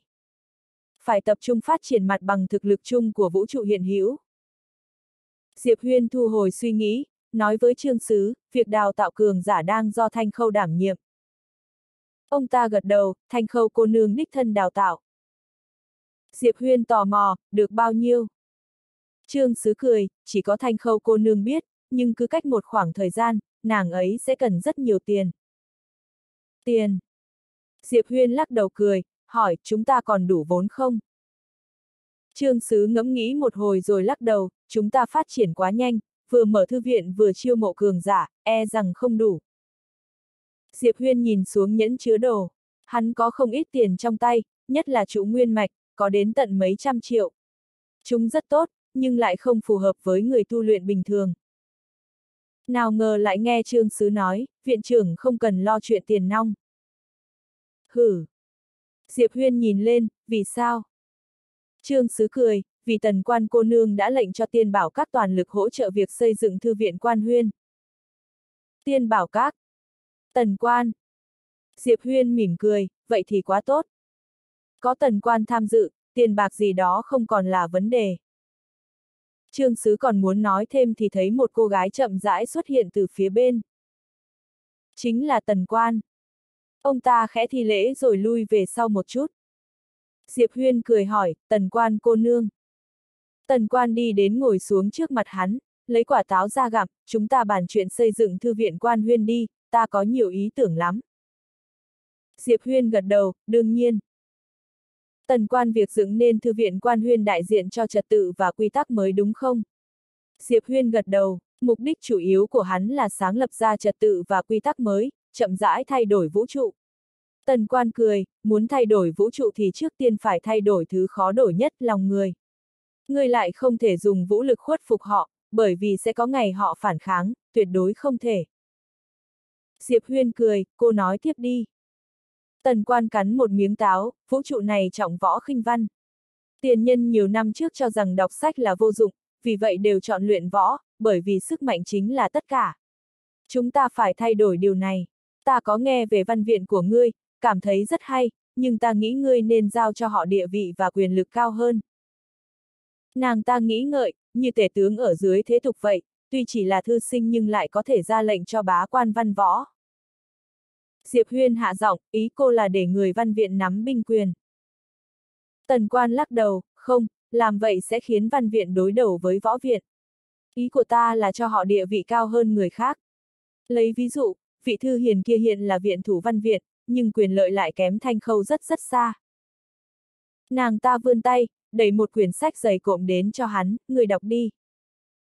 Diệp Huyên tò mò, đây là gì? Tần quan cười, một quyển sách viết phương pháp tu luyện do ta biên soạn, nho đạo thần điển. Phương pháp mới này dành cho người đọc sách, không tu luyện huyền khí mà là tài khí. Có tài khí, thơ ca có thể giết địch, từ ngữ có thể diệt quân, dùng văn chương bình định thiên hạ. Tài khí càng mạnh, bản thân càng mạnh, như thánh nhân cảnh trong bộ sách này, có thể dùng lời lẽ để chu tâm diệt hồn, nói đến đâu pháp tắc xuất hiện đến đó, vung bút ổn định vũ trụ. Nàng ta mỉm cười, ta biết người đọc sách một là không thích tu luyện, hai là không đủ thiên phú, nhưng bộ sách này có thể giải quyết những vấn đề đó. Muốn mạnh hơn, họ không cần phải tu luyện mà chỉ cần đọc sách, nâng cao học vấn của mình là được. Đổi cách nói khác, đọc sách chính là cách tu luyện của họ. Diệp Huyên mở quyển nho đạo thần điển ra nhìn một hồi, sắc mặt ngày càng động lại, nói với tần quan, cô nương, đời này ta rất ít khi nể phục ai, cô là một trong số đó. Cô ghê gớm thật. Tần quan phì cười, đừng vậy, chuyện thường cả thôi, hì hì. Diệp Huyên. Tần quan lại nói, phương pháp tu luyện này hữu dụng với người đọc sách, khi ấy trên đời sẽ không còn những câu ngu xuẩn như thư sinh vô dụng nữa. Mấu chốt nằm ở chỗ sách này có thể phân biệt học vấn của người đọc sách, học vấn càng nhiều thì tài khí càng cao, cảnh giới tất nhiên cũng cao theo. Nàng ta đặt quả táo xuống, chỉ khi nào càng nhiều người trên thế giới này bằng lòng đọc sách nhiều, đọc sách hay, vũ trụ mới có thể thay đổi. Chúng ta cũng cần thêm nhiều học giả chân chính để hỗ trợ thay đổi nó. Không chỉ vậy, Tần Quan còn lập nên một bản đồ vũ trụ cho vũ trụ quan huyên, khiến các sinh linh sống trong vũ trụ quan huyên hiểu rõ hơn về vũ trụ này. Ngoài ra nàng ta còn bảo tiên bảo các dựng hàng chục triệu truyền tống trận ở nơi đây, rút ngắn đáng kể thời gian di chuyển giữa các vũ trụ. Điều đáng nói là những truyền tống trận này thật sự tiêu tốn rất nhiều tiền. Vũ trụ hiện nay dù là vũ trụ quan huyên hay là vũ trụ vô biên, chỉ có phú bà tần quan mới có đủ tài chính để xây dựng nhiều truyền tống trận trong khoảng thời gian ngắn thế này, tuy tốn rất nhiều tiền nhưng những truyền tống trận này sẽ mang lại cho nàng ta nguồn thu nhập ổn định. Mà bộ thần điển nho đạo do tần quan viết vừa mới xuất thế đã thu hút sự chú ý rất lớn, đặc biệt là trong thư viện quan huyên, vô số học sĩ đều phát cuồng. Mà kiệt tác này cũng sẽ thay đổi hệ thống tu luyện hiện tại của vũ trụ quan huyên. Nho đạo. Thế gian lại có thêm một đạo. Sau khi tần quan giúp đỡ thư viện quan huyên, thư viện lập tức phát triển nhanh chóng. Nói lời tạm biệt với tần quan xong, Diệp Huyên lên trên một đỉnh núi, tên ngọn núi này là Quan Huyên Thần Sơn, mà dưới chân núi chính là thư viện Quan Huyền nổi tiếng nhất vũ trụ Quan Huyên hiện giờ.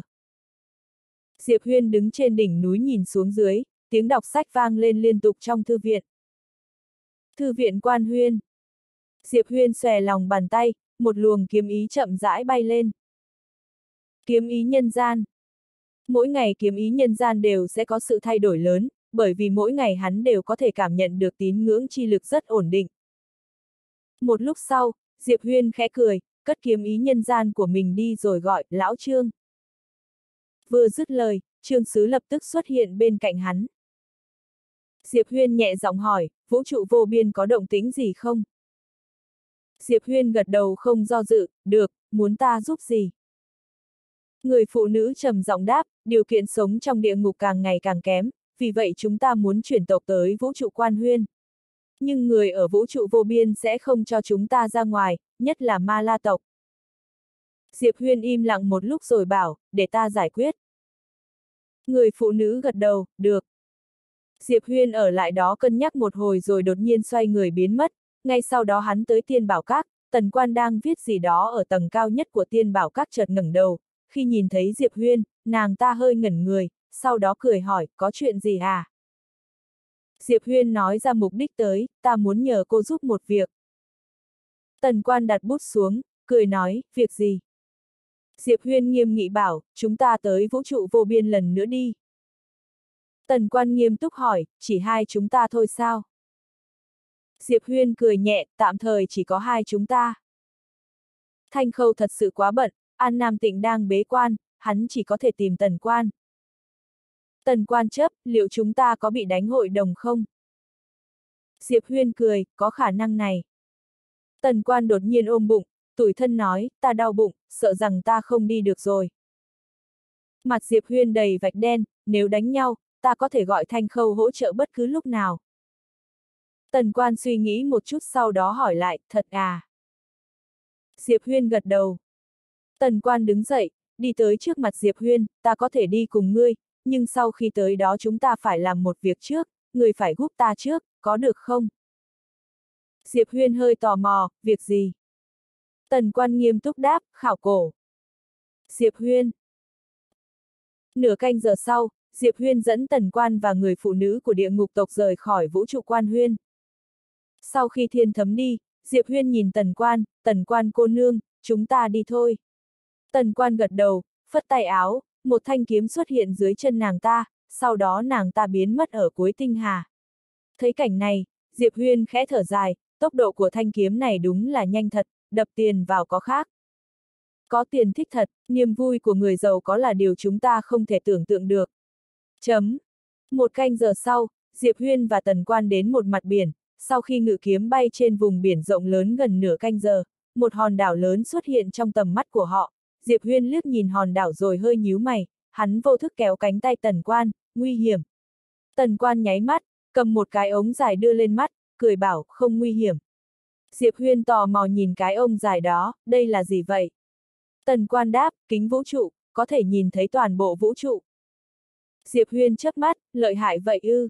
Tần Quan gật đầu, ta vẫn đang cải tạo, khi cải tạo thành công, ta có thể nhìn thấy vũ trụ ngoài vũ trụ vô biên. Diệp Huyên trầm giọng hỏi, vũ trụ ngoài vũ trụ vô biên. Tần quan quay đầu nhìn Diệp Huyên, chẳng lẽ ngươi không biết sao? Diệp Huyên cười khổ, ngoài vũ trụ vô biên còn có vũ trụ nữa à? Tần quan gật đầu có. Nói rồi nàng ta nhìn Diệp Huyên, cười nhẹ hỏi, người biết hệ ngân hà không? Diệp Huyên gật đầu, có nghe nói. Tần quan nhẹ giọng giải thích, trước đây, người của hệ ngân hà tưởng rằng hành tinh mình sinh sống tức trái đất là trung tâm của vũ trụ, sau này họ mới phát hiện, hành tinh màu xanh nhỏ bé mình đang sống không phải trung tâm, họ chỉ là chỉ là một hạt cát trong hệ mặt trời thôi. Sau đó nữa mọi người phát hiện so với hệ ngân hà thì hệ mặt trời chỉ như hạt cát dưới chân núi cao vạn trượng. Sau nữa họ lại phát hiện trong vũ trụ có vô số tinh hà giống như hệ ngân hà. Vừa nói nàng ta vừa lắc đầu nhẹ, chỉ một hệ ngân hà thôi đã có ít nhất hàng trăm tỷ hành tinh rồi, Diệp Huyên im lặng. Tần quan cười khẽ, giống như trước đây, phần lớn người trên trái đất chúng ta đều cho rằng vũ trụ này chỉ có một loại sinh linh là người trái đất như chúng ta, nhưng ra khỏi hệ mặt trời, ra khỏi hệ ngân hà, chúng ta mới phát hiện thì ra vũ trụ bên ngoài còn có nhiều nền văn minh rực rỡ đến thế. Nói đến đây, nàng ta nhìn Diệp Huyên, vũ trụ rộng lớn vô hạn, ước mơ của ta là một ngày nào đó được đi hết vũ trụ, thấy được nhiều nền văn minh hơn, khám phá vẻ đẹp của vũ trụ này. Vì thế, ta đang kiến tạo phi thuyền khổng lồ, nếu kiến tạo thành công thì ta có thể lái nó đi vòng quanh vũ trụ. Diệp Huyên hơi tò mò, phi thuyền thế nào? Tần quan đáp, phi thuyền với tốc độ cực nhanh, ta ước tính, nếu kiến tạo thành công thì tốc độ của nó hẳn là không chậm hơn tốc độ của tam kiếm. Diệp Huyên. Tần quan lại nói, phi thuyền này có khả năng phòng thủ rất mạnh. Ta ước tính hiện tại hẳn là chỉ tam kiếm có thể phá được phòng ngự của nó. Mà bây giờ ta đang tạo khả năng tấn công cho nó. Diệp Huyên trầm giọng hỏi, nếu kiến tạo thành công thì lực sát thương lớn đến mức nào? Tần quan chớp mắt, hẳn là có thể dễ dàng hủy diệt được một vũ trụ quan huyên hoặc vũ trụ vô biên. Vẻ mặt Diệp Huyên cứng đờ. Tần quan nói tiếp, nhưng vẫn chưa đủ, ta vẫn đang chế tạo một thanh thần khí siêu cấp, tiếc là bây giờ vẫn hơi thiếu tiền. Hơi thiếu tiền, nghe vậy, Diệp Huyên sửng sốt vô cùng, cô định tạo thứ gì? Cô mà cũng thiếu tiền.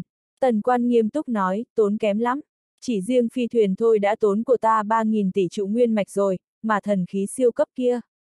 Dừng, Diệp Huyên kinh hãi hỏi, 3.000 tỷ trụ nguyên mạch. Trụ nguyên mạch. Tần quan gật đầu, đúng vậy, hơn nữa còn chưa hoàn toàn chế tạo hoàn chỉnh, ta ước tính ít nhất cũng phải 100.000 tỷ trụ nguyên mạch, hơn nữa còn phải dự trữ 100.000 tỷ trụ nguyên mạch trên phi thuyền nữa, ngươi biết không? Ta có 109 trận pháp, trong đó có một trận pháp là kiếm trận, mỗi lần kích hoạt cần ít nhất một tỷ trụ nguyên mạch. Tốn kém nhất không phải phi thuyền, mà là thần khí siêu cấp ta muốn chế tạo, mỗi ngày cần ít nhất 10 tỷ trụ nguyên mạch, Diệp Huyên im lặng, hắn thấy phủ bà này hẳn là người nguy hiểm nhất sau tam kiếm. Ai có thể chịu nổi? Trước đây khi hắn có mấy trăm tỷ trụ mạch còn ngây thơ cho rằng đã có thể so sánh tài sản của mình với phú bà này. Bây giờ thì, hắn là cái thá gì? Có xứng không? Tần quan đột nhiên khẽ thở dài, người đời đều cho rằng ta giàu, nhưng thật ra ta cũng rất nghèo. Ngày nào ta cũng phải bỏ ra mấy chục tỷ trụ nguyên mạch, ta. Thật ra ta cũng rất nghèo, ta. Dừng. Diệp Huyên ngắt lời tần quan, hắn cười khổ tần quan cô nương, cô đừng như vậy, xin hãy nghĩ đến cảm nhận của ta. Tần quan cười hì hì, vỗ nhẹ vai Diệp Huyên rồi nghiêm túc nói, khi nào chế tạo xong phi thuyền, ta sẽ đưa ngươi đi vòng quanh vũ trụ, ta mở tiên bảo các kinh doanh, ngươi mở học viện, ta có tiền, ngươi có người, chúng ta bắt tay nhau, vô địch thiên hạ. Ố dề, Diệp Huyên, du lịch vòng quanh vũ trụ. Diệp Huyên suy nghĩ một chút, sau đó nói, ta thấy được đấy. Mục tiêu của hắn là mở thư viện, thay đổi toàn bộ vũ trụ, mà mục tiêu của tần quan là mở tiên bảo các, trở thành tiếng nói của toàn vũ trụ. Hơn nữa tần quan cũng thích mở thư viện, có thể nói sở thích của hắn và tần quan đều như nhau. Rất được. Diệp Huyên nghiêm túc nói, được, khi nào cô chế tạo xong phi thuyền thì chúng ta sẽ đi chinh phục vũ trụ. Tần quan bật cười, được. Khi hai người nói chuyện thì đã tới hòn đảo đó. Vừa đặt chân lên đảo, Diệp Huyên đã nhíu mày, trong lòng có phần bất an lo lắng, với thực lực của hắn hiện tại, ngoài đại lão hàng đầu thì nhìn chung không có thứ gì có thể khiến hắn cảm thấy nguy hiểm. Như nghĩ tới điều gì, Diệp Huyên chợt xòe bàn tay, bút đại đạo xuất hiện, hắn nhìn về phía xa tiểu bút, huynh biết phía trước có gì không? Bút đại đạo nói, biết. Diệp Huyên vội hỏi, có gì? Bút đại đạo trả lời, biết cái đầu cậu ấy. Mặt Diệp Huyên lập tức đen xì, ta cảm thấy tác dụng của huynh càng lúc càng ít rồi đấy. Bút đại đạo bảo, đại ca, không phải tác dụng của ta càng lúc càng ít, mà là kẻ địch của cậu càng lúc càng mạnh. Cậu toàn chọc giận những người gì đâu không á. Thật ra nhiều lúc ta cũng có thể hiểu được cậu, người như cậu nếu không có chỗ dựa thì ai có thể chịu được. Kẻ địch của cậu, không có kẻ nào bình thường. Nhiều lúc ta cảm thấy cậu còn thảm hơn phụ thân cậu khi xưa nữa. Diệp Huyên. Tần quan bất chợt lên tiếng, người nhìn kìa. Diệp Huyên gác lại mọi suy nghĩ, ngẩng đầu nhìn về phía xa, ở nơi cách đó trăm trượng có một tòa cung điện rất lớn, cung điện được xây dựng theo phong cách vô cùng xa hoa, cổng cung điện còn có 12 pho tượng khổng lồ bằng vàng đỏ, mỗi tượng cao tới trăm trượng, tay cầm trường mâu, vô cùng uy nghiêm. Diệp Huyên hơi tò mò, đây là...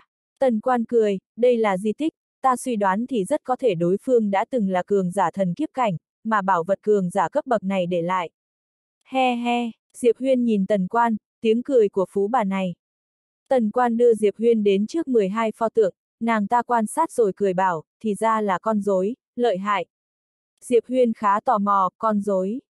Tần quan gật đầu, 12 pho tượng này đều là con dối, bên trong có 12 linh hồn, hơn nữa đều là vạn kiếp cảnh, họ bị cưỡng ép giam cầm trong tượng, chất liệu của tượng này cũng rất đặc biệt, vô cùng quý giá, đương nhiên so với chất liệu để làm phi thuyền của ta thì vẫn còn kém xa.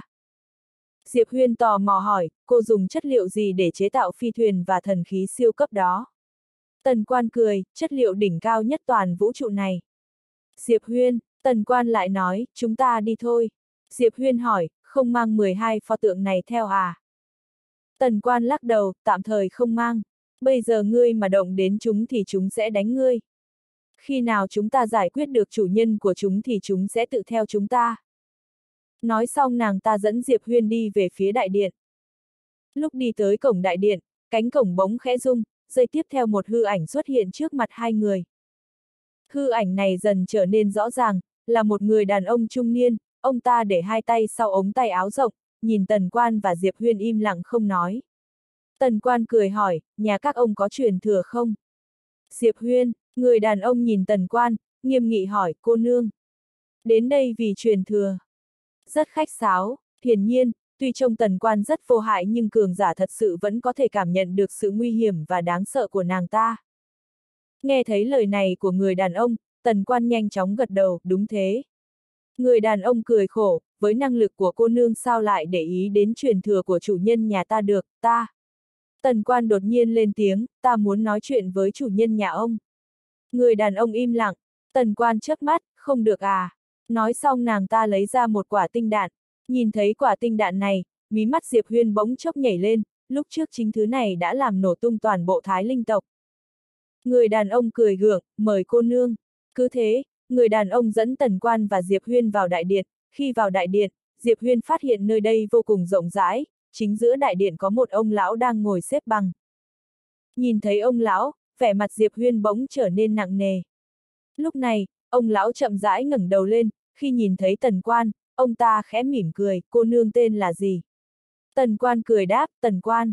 Ông lão khẽ gật đầu, đang định hỏi gì đó thì chợt nhìn sang Diệp Huyên bên cạnh, khi nhìn thấy hắn, ông ta hơi giật mình, một lúc sau vẻ mặt ông ta cũng dần trở nên nặng nề.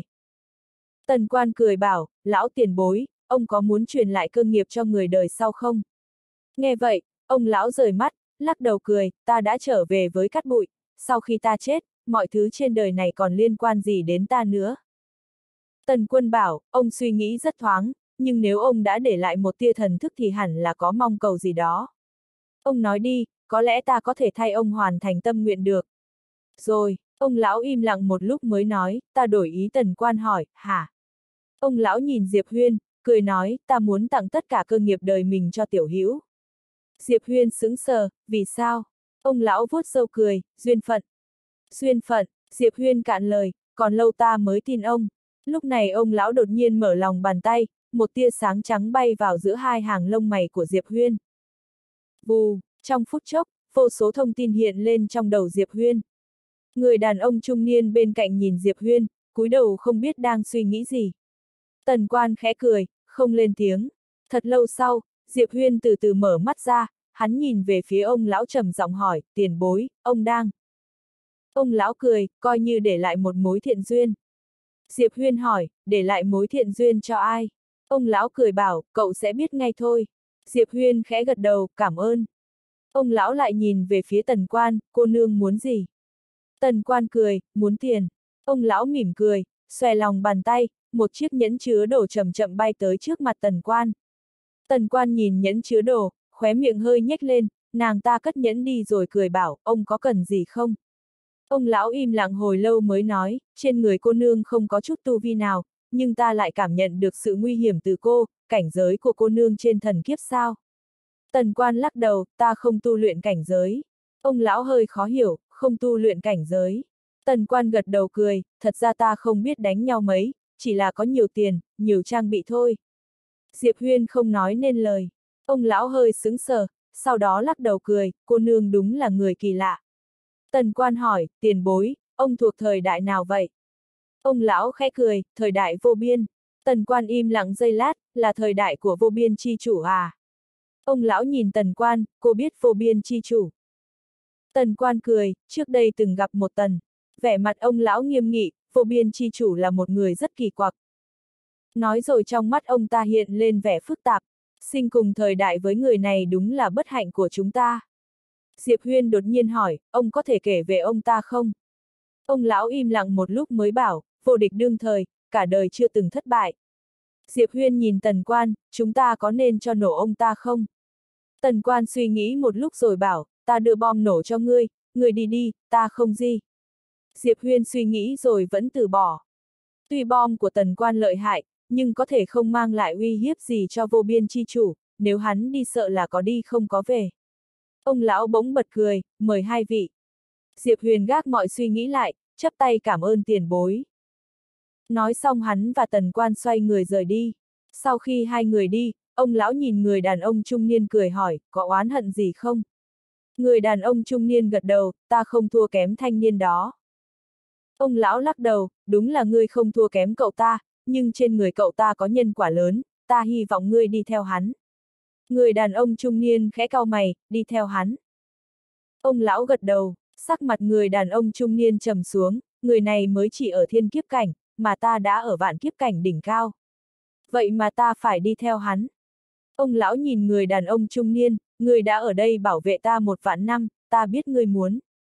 Người đàn ông trung niên đột nhiên tức giận, ông không hề biết, ta đã ở đây bảo vệ ông cả vạn năm, nhưng ông thì sao? Chỉ mới gặp đối phương một lần đã truyền lại toàn bộ cơ nghiệp đời mình cho hắn. Chỉ mới một lần, thanh niên đó thật sự xuất sắc đến vậy sao? Xuất sắc đến mức chỉ gặp một lần ông đã truyền lại hết cho hắn như thế. Ông lão khẽ thở dài, người có được truyền thừa của ta nhiều nhất cũng chỉ có thể đạt đến thần kiếp cảnh, nhưng nếu ngươi đi theo hắn thì thành tựu của ngươi sẽ còn hơn rất nhiều, ngươi. Cút, người đàn ông trung niên đột nhiên hét lên, ông nghĩ ta sẽ tin lời nói vớ vẩn của ông sao? Lão già, uổng cho ta bảo vệ ông một vạn năm, thế mà ông lại đối xử với ta thế này, ông nên chết đi. Dứt lời, ông ta chợt giáng một trường xuống. Ông lão không phản kháng, chỉ khẽ thở dài, người đúng là đồ ngốc, hầy. ầm, um, ông lão biến mất tại chỗ. Sau khi giết chết ông lão bằng một trường, người đàn ông trung niên xoay người biến mất ở phương xa. Tần Quan và Diệp Huyên vừa rời khỏi đại sảnh bỗng chợt dừng lại, vì người đàn ông trung niên kia đã chắn trước mặt họ. Ông ta nhìn chằm chằm Diệp Huyên, con kiến hôi chết tiệt này, ngươi. Tần Quan lấy súng ra bóp có. Đoàng, trong khoảnh khắc, một luồng sáng trắng bắn ra, vẻ mặt người đàn ông trung niên thay đổi rõ rệt, hai cánh tay bị chặn lại. Bùm, trong thoáng chốc, người đàn ông trung niên lùi lại cả vạn trượng, khi ông ta dừng lại thì cơ thể đã không còn, chỉ còn lại linh hồn hư ảo, hơn nữa linh hồn này còn đang biến mất với tốc độ cực kỳ kinh người. Người đàn ông trung niên sững sờ, nhìn tần quan, ta là vạn kiếp cảnh. Tần quan chớp mắt, xòe tay, nhẫn chứa đồ của người đàn ông trung niên chậm chậm bay tới tay nàng ta. Tần quan nhìn nhẫn chứa đồ, nhíu mày, ít vậy. Nàng ta không nghĩ nhiều, quay người đặt nhẫn chứa đồ vào tay Diệp Huyên, nghiêm túc nói, cái này cho ngươi, huynh đệ tốt cùng nhau phát tài. Diệp Huyên, nhìn nhẫn chứa đồ trong tay, Diệp Huyên lắc đầu cười. Xa xa, người đàn ông trung niên nhìn tần quan với vẻ khó tin, run giọng hỏi, sao cô lại mạnh đến vậy? Tần quan nhìn ông ta bảo, ông nghĩ ta rất yếu à? Dưới tam kiếm, ta là... Nói đến đây, nàng ta dừng lại một chút rồi nói, dưới tam kiếm, ai ta cũng có thể đánh ngang cơ. Đánh ngang cơ, Diệp Huyên im lặng, hắn không thể phản bác. Khỏi phải nói rồi, dưới tam kiếm, phú bà tần quan thực sự có thể đánh ngang tay với bất cứ ai. Trang bị thần khí đầy mình như thế, ai có thể đọ lại độ giàu có được với nàng ta. Tần quan nhìn người đàn ông trung niên, ông ta định nói gì đó nhưng tần quan chẳng thèm quan tâm, nàng ta dẫn Diệp Huyên tới trước 12 pho tượng. Nàng ta liếc nhìn 12 pho tượng sau đó quay đầu nhìn Diệp Huyên, có cho người cách khống chế không? Diệp Huyên gật đầu, có. Vừa nãy khi ông lão kia giao lại truyền thừa cho hắn cũng cho cả cách khống chế 12 con rối này. Diệp Huyên nhẩm niệm, 12 con rối đột nhiên chậm chậm mở mắt, tiếp đó chúng đi tới trước mặt Diệp Huyên rồi quỳ một gối xuống. 12 vạn kiếp cảnh. Diệp Huyên khẽ cười, nhìn tần quan, cô có cần không? Tần quan lắc đầu, ta không cần. Diệp Huyên khó hiểu, vì sao? Đây là vạn kiếp cảnh đó. Tần quan nhìn quanh rồi nói nhỏ, nói cho ngươi một bí mật, ngươi không được nói cho ai nhé. Diệp Huyên gật đầu ngay, được. Tần quan nghiêm túc bảo, ta đã tạo ra một đám người máy thông minh, tương đương với phiên bản cấp cao cao cao của con rối, biết tự mình tu luyện, rất mạnh. Người máy thông minh, Diệp Huyên trầm giọng hỏi, có lợi hại không? Tần quan gật đầu, nghiêm túc đáp, lợi hại. Trong đó có một con rất đặc biệt, đã tu luyện tới vạn kiếp cảnh, tinh thông vạn pháp vạn đạo, còn tu luyện cơ thể. Cơ thể của nó được ta dùng vật liệu đặc biệt chế tạo, nhưng nó có thể thông qua phương pháp tu luyện để nâng cao cơ thể của mình thì đúng là rất biến thái. Quan trọng nhất là bộ não của nó rất thông minh, rất rất thông minh. Diệp Huyên hỏi, giờ nó đang ở đâu? Tần quan cười, nó đang giúp ta chế tạo thần khí siêu cấp và phi thuyền. Diệp Huyên hơi do dự nhưng vẫn hỏi, sau này liệu nó có phản bội cô không? Tần quan lắc đầu, không. Diệp Huyên không hiểu, vì sao? Tần quan cười, ta cho nó đi, để nó trải nghiệm thế giới này nhưng nó không muốn, nó muốn đi theo ta. Nói rồi nàng ta cười nhẹ, ta cũng không ép nó phải đi theo ta, cũng sẽ không hại nó, vậy nên nó sẽ không phản bội ta. Không đúng, ta coi nó như muội muội mình vậy. Nghe vậy, Diệp Huyên lắc đầu cười, hắn hiểu rồi. Tần quan nói, chúng ta đi thôi, đến di tích cuối cùng ta tìm ra được. Vẫn còn à? Diệp Huyên cười, đi. Hai người biến mất tại chỗ, không lâu sau cả hai tới một vùng tinh không. Trên đường đi, tần quan hỏi, khi thấy lão tiền bối khi nãy, người nghĩ gì? Diệp Huyên im lặng giây lát mới đáp, vũ trụ vô biên hắn là đã từng có một thời đại cực kỳ huy hoàng. Tần quan gật đầu, đúng. Nói xong nàng ta quay đầu nhìn Diệp Huyên, người có tự tin thắng trận này không? Cho dù tam kiếm không ra tay, cho dù thanh khâu không thể khôi phục toàn bộ thực lực. Diệp Huyên nghiêm túc trả lời, có. Nói xong hắn lại nói, bởi vì còn có cô. Tần quan hơi gật mình, ta chưa từng tu luyện, ta không biết đánh nhau. Diệp Huyên nghiêm túc nói, cô giúp đỡ về mặt vật chất là đủ rồi. Tần quan. Một canh giờ sau, tần quan đưa Diệp Huyên đến một tinh vực chết chóc, trong tinh vực này không có hơi thở của sự sống nào, trên tinh không có những mảnh vụn xây dựng lơ lửng, rất hỗn loạn. Diệp Huyên nhẹ giọng nói, ở đây từng có một trận đại chiến. Tần quan gật đầu, Diệp Huyên hơi khó hiểu, tinh không nơi này từng có cuộc đại chiến, theo lý mà nói, tinh vực này hẳn nên bị xóa sổ rồi mới phải, tại sao nơi này? Tần quan cười bảo, pháp tắc đại đạo. Diệp Huyên nhìn tần quan, pháp tắc đại đạo. Tần quan gật đầu, không phải đại đạo bình thường, mà là chữ, đạo trong tay chủ nhân bút đại đạo, chữ này ở trên vạn đạo, không gian nào bị xóa sổ, chỉ cần y muốn thì y đều có thể khôi phục lại. Diệp Huyên trầm giọng hỏi, người bị xóa sổ cũng có thể sống lại sao? Tần quan suy nghĩ một lát rồi đáp, điều này phải xem tình hình, có thể một số người thì được, một số người có thể không dược, cụ thể phải xem ý của chủ nhân bút đại đạo. Diệp Huyên lắc đầu cười, cảm giác chủ nhân bút đại đạo rất bí ẩn. Tần quan cười bảo, đi. Nói xong nàng ta và Diệp Huyên cùng biến mất ở phía xa.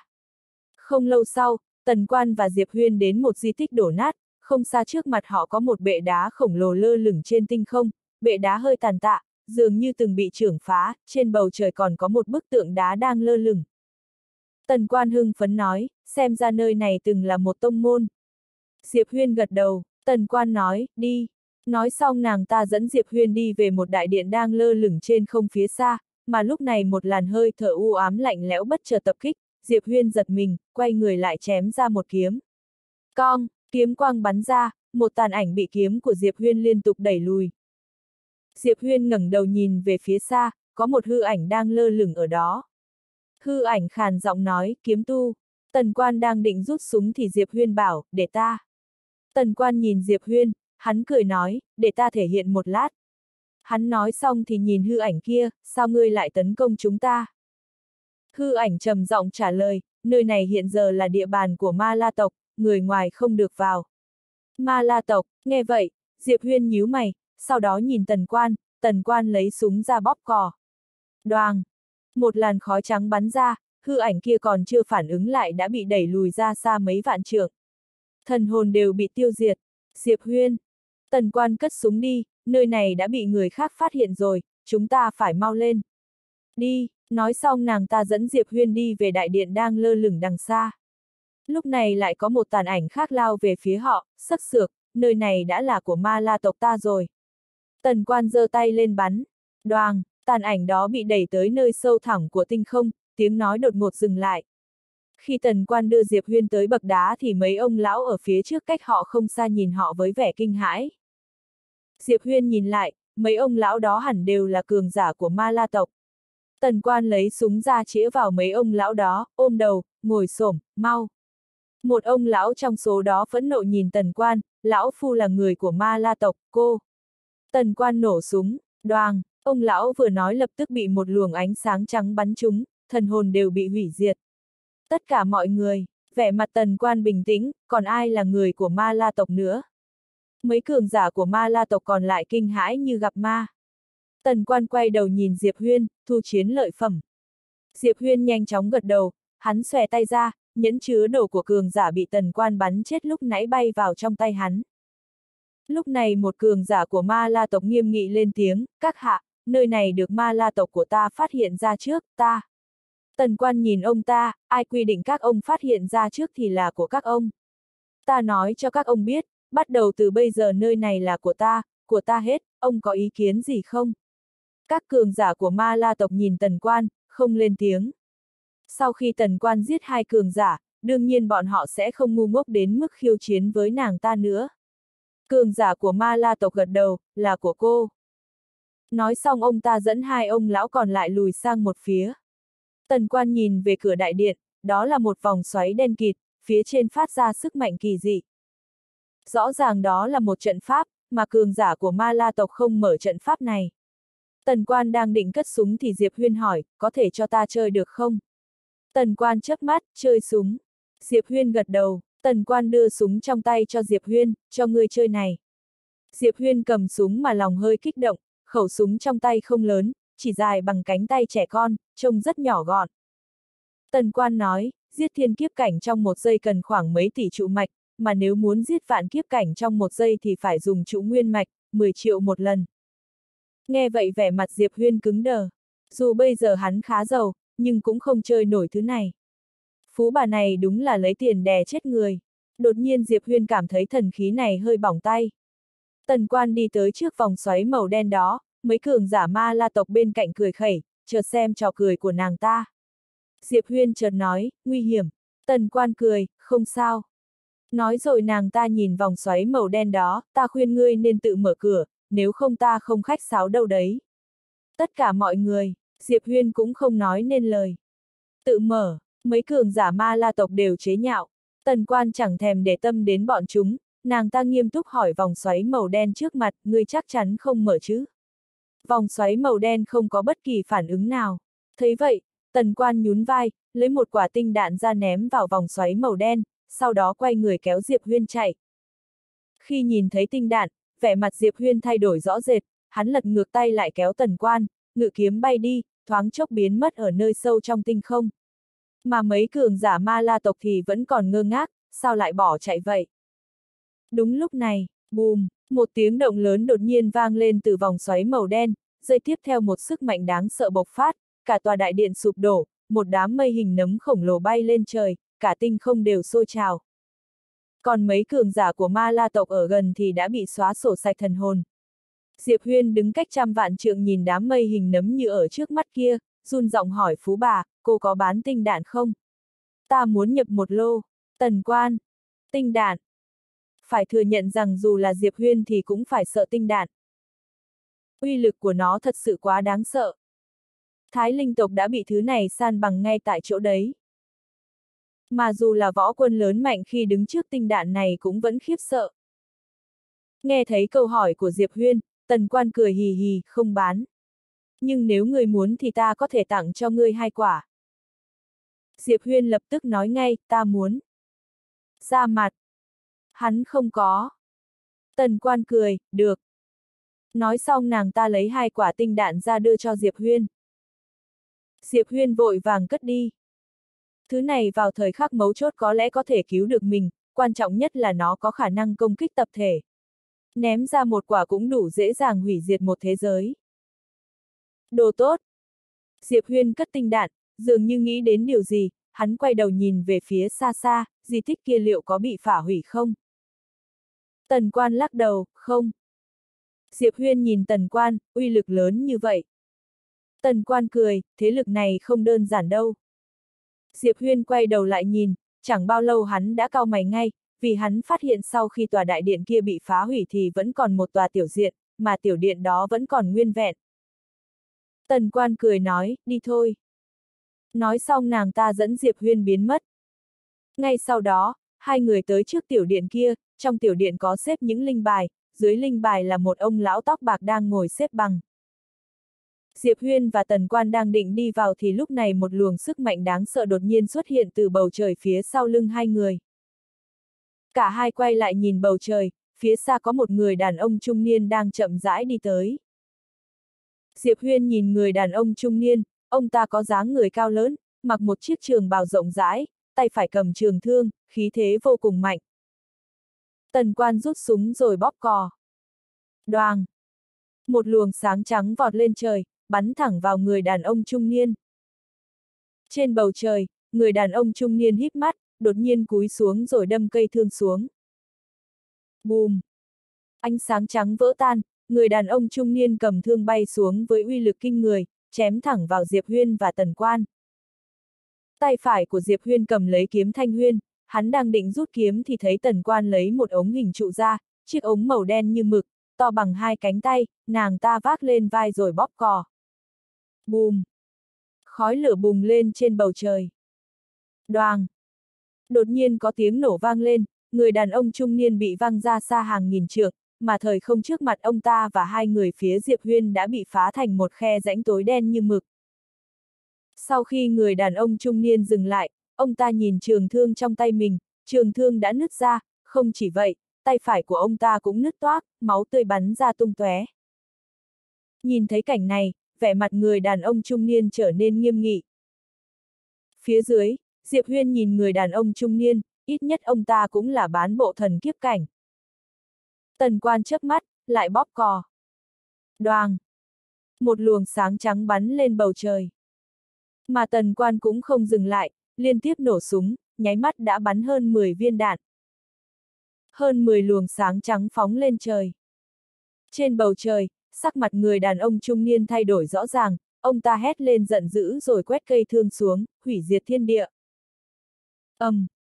Trong khoảnh khắc, một luồng sức mạnh đáng sợ từ trên trời quét xuống. Tinh hà run rẩy. Bùm! Một tiếng nổ vang lên, người đàn ông trung niên bay tới nơi cách đó mười mấy vạn trượng, khi ông ta dừng lại thì cơ thể đã nứt toác, máu tươi bắn ra khắp nơi, người ông ta thoáng chốc đầy máu. Người đàn ông trung niên sững sờ. Lúc này, tần quan ở phía xa lại nhắm bắn, người đàn ông trung niên thấy thế thì không chút do dự, xoay người biến mất ở cuối tinh không. Diệp Huyên. Phía dưới, tần quan chớp mắt sau đó cất vũ khí kỳ lạ đi, đã giải quyết xong. Nói xong nàng ta dẫn Diệp Huyên đi về phía tiểu điện. Diệp Huyên lắc đầu cười. Đi theo phú bà đúng là rất an toàn. Sau khi đi vào tiểu điện, tần quan dẫn Diệp Huyên tới trước mặt ông lão tóc bạc đang ngồi xếp bằng đó, nàng ta hơi cúi đầu chào lão tiền bối. Diệp Huyên cũng chào theo, chào lão tiền bối. Không đáp lại. Diệp Huyên đang định lên tiếng thì thấy tần quan chợt lấy một quả tinh đạn ra, hắn biến sắc, tần quan cô nương, cô định làm gì? Ông lão tóc bạc chậm rãi ngẩng đầu, cô nương có gì từ từ nói. Diệp Huyên sững sờ nhìn ông lâu tóc bạc, tần quan khẽ cười, lão tiền bối, ta đến đây chỉ để kiếm tiền. Ông lão tóc bạc im lặng một lúc rồi nói, cô nương có chịu nói lý không? Tần quan suy nghĩ một lát, tùy tình huống. Ông lão tóc bạc im lặng. Xong rồi. Tần quan chợt cười, lão tiền bối có tâm nguyện gì chưa hoàn thành không? Nếu có thì ta có thể giúp ông. Diệp Huyên nhìn tần quan, phải nói rằng tần quan rất thẳng thắn. Ông lão tóc bạc khẽ hỏi, cô nương có nhìn thấy bên ngoài không? Tần quan gật đầu, nơi đây từng có đại chiến. Ông lão cười hỏi, cô nương có thể trả thù cho tông môn ta không? Tần quan suy nghĩ một chút rồi hỏi, kẻ thù của các ông là ai? Ông lão tóc bạc nhìn thẳng vào tần quan, cổ khí tông. Tần quan hơi nhíu mày. Ông lão nói, cô nương chưa nghe bao giờ à? Tần quan gật đầu, đúng là chưa nghe bao giờ, chắc là tông môn từ rất lâu rất lâu trước đây ở vũ trụ vô biên đúng không? Ông lão tóc bạc gật đầu, cổ khí tông đến từ cực bắc của vũ trụ vô biên, chúng phụng mệnh vô biên chi chủ trấn giữ Bắc Thần Sơn, chỉ có số ít thế lực và cường giả mới biết đến tông môn cổ xưa này. Diệp Huyên hơi tò mò, vì sao các ông lại bị bọn chúng tiêu diệt? Ông lão lắc đầu thở dài, vì một vài tranh chấp, đương nhiên nguyên nhân quan trọng nhất vẫn là vì chúng ta khinh địch. Diệp Huyên đột nhiên hỏi, cổ khí tông này chấn thủ cái gì ở phía Bắc? Ông lão tóc bạc nhìn về phía Diệp Huyên, tiểu huynh đệ, mạn phép hỏi một câu, người đến từ thế lực nào vậy? Diệp Huyên cười nói, ta đến từ vũ trụ quan huyên, cũng là vũ trụ hiện hữu trước đây. Vũ trụ hiện hữu. Ông lão nhíu mày, không phải nền văn minh võ đạo ở nơi đó rất lạc hậu ư. Có điều ta thấy dù cảnh giới của tiểu huynh đệ khá thấp, nhưng khí thế lại hùng hậu, thực lực cũng phi phàm mà. Diệp Huyên cười nói, ở chỗ chúng ta, ta có thể xem là những người mạnh nhất. Ông lão tóc bạc gật đầu, thì ra là thế. Nói xong, ông ta lại lắc đầu, quay lại chủ đề khi nãy, chúng ta cũng không biết cổ khí tông chấn thủ cái gì, ta chỉ biết mỗi một năm, vô biên chi chủ sẽ chọn ra một vài thiên tài ở các thế lực và gia tộc lớn đến cổ khí tông lịch luyện, nói là đào tạo nhân tài. Lúc đầu chúng ta còn hơi phản đối, nhưng sau khi những thiên tài yêu nghiệt của chúng ta trở lại từ phương Bắc thì thật sự như đổi thành một người khác, thực lực của ai cũng đều được nâng cao gấp bội. Diệp Huyên nhíu mày, các ông không hỏi bọn họ chuyện ở phương Bắc à? Ông lão tóc bạc lắc đầu, có hỏi, nhưng bọn họ chỉ nói bên kia có kẻ thù rất mạnh, ngoài ra thì bọn họ cũng không rõ tình hình cụ thể. Nghe vậy, Diệp Huyên và Tần Quan đưa mắt nhìn nhau, trong mắt hai người đều mang theo sự tò mò.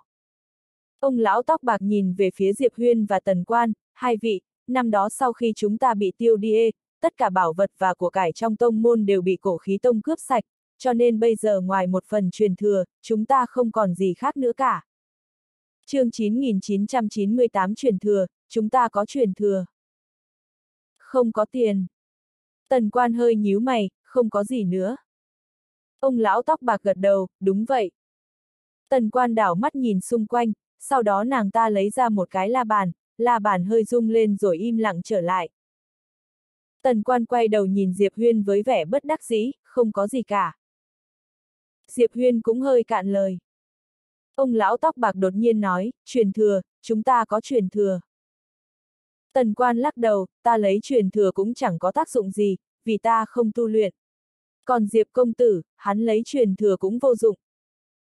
Ông lão tóc bạc còn muốn nói gì đó thì tần quan lại nói, chúng ta đi thôi. Diệp Huyên gật đầu. Hai người lập tức muốn rời đi.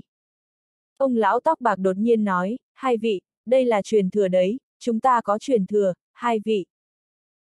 Tần quan đột nhiên dừng bước, nàng ta xoay người nhìn về phía ông lão, nếu ông cho không, chúng ta lấy cũng được, còn nếu không phải thì chúng ta cũng không cần. Ông lão tóc bạc tỏ vẻ ngạc nhiên, cô nương, cô. Diệp Huyên cười ngắt lời ông ta, tiền bối, ông phải hiểu.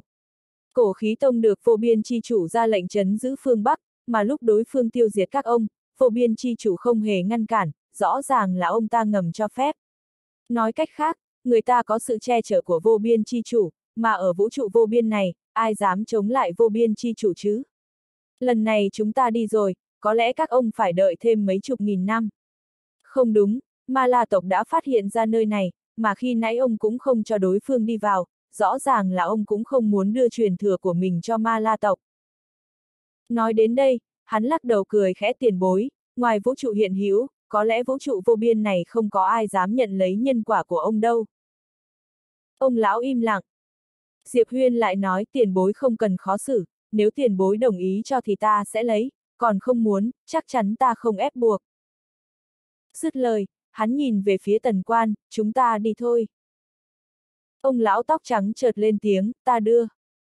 Diệp Huyên và tần quan dừng bước, ông lão tóc bạc nhìn Diệp Huyên, ông ta mở lòng bàn tay, một viên đá đen chậm rãi bay đến trước mặt Diệp Huyên.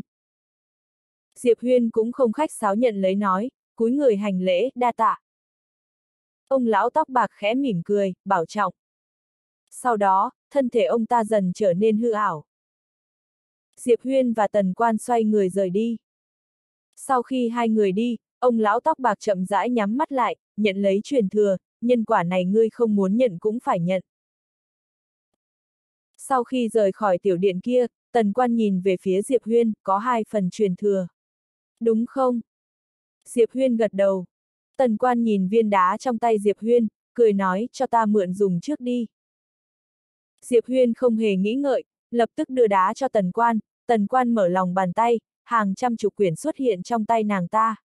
Sau một vài thao tác của nàng ta, viên đá đen đột nhiên rung động kịch liệt, sau đó, một lực lượng thần bí tràn ra từ trong viên đá, bay vào những quyển trục kia. Một lát sau, tần quan thu tay, khẽ mỉm cười. Diệp Huyên hơi tò mò, đây là... Tần quan cười đáp, sao chép, sao chép 100 truyền thừa, mang truyền thừa đi đấu giá, sau đó tuyên truyền một chút, tính theo giá ban đầu, có lẽ sẽ kiếm được kha khá. Diệp Huyên. Tần quan nhìn xung quanh, sau đó nói, có thể bán ở đây.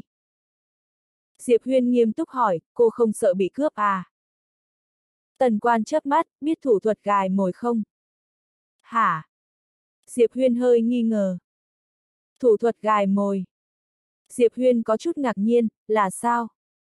Tần quan chớp mắt, sau đó vỗ nhẹ lên vai Diệp Huyên, nhóc Huyên đơn thuần quá. Nói rồi, nàng ta xoay người rời đi. Đơn thuần. Diệp Huyên. Trên đường đi, Diệp Huyên không nhịn được hỏi, tần quan cô nương, thủ thuật gài mồi đó nghĩa là sao? Tần quan cười hỏi, người thấy ăn cướp có tốt không? Diệp Huyên suy nghĩ một chút rồi đáp, không tốt. Tần quan khẽ mỉm cười, tại sao không tốt? Bởi vì lương tâm cắn rứt, đúng không? Diệp Huyên gật đầu. Tần quan nghiêm mặt nói, nhưng nếu đối phương đến ăn cướp chúng ta trước thì sao?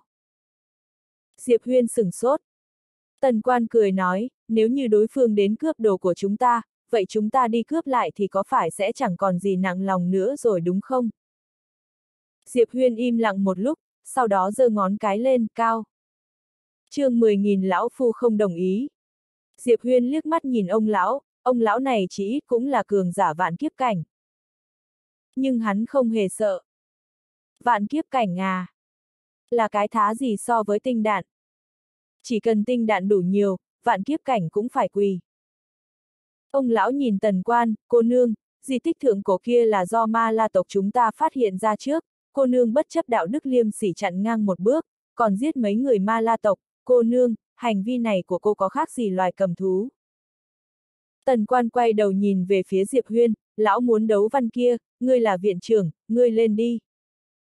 Diệp Huyên sửa sang lại vạt áo rồi nói, việc đáng làm thì phải làm. Nói rồi, hắn nhìn ông lão kia, đang định nói chuyện thì ông lão chợt nổi giận, chỉ tay vào Diệp Huyên, Diệp Huyên, ngươi đừng có ỉ phía sau có người nữa, ma là tộc ta biết rồi.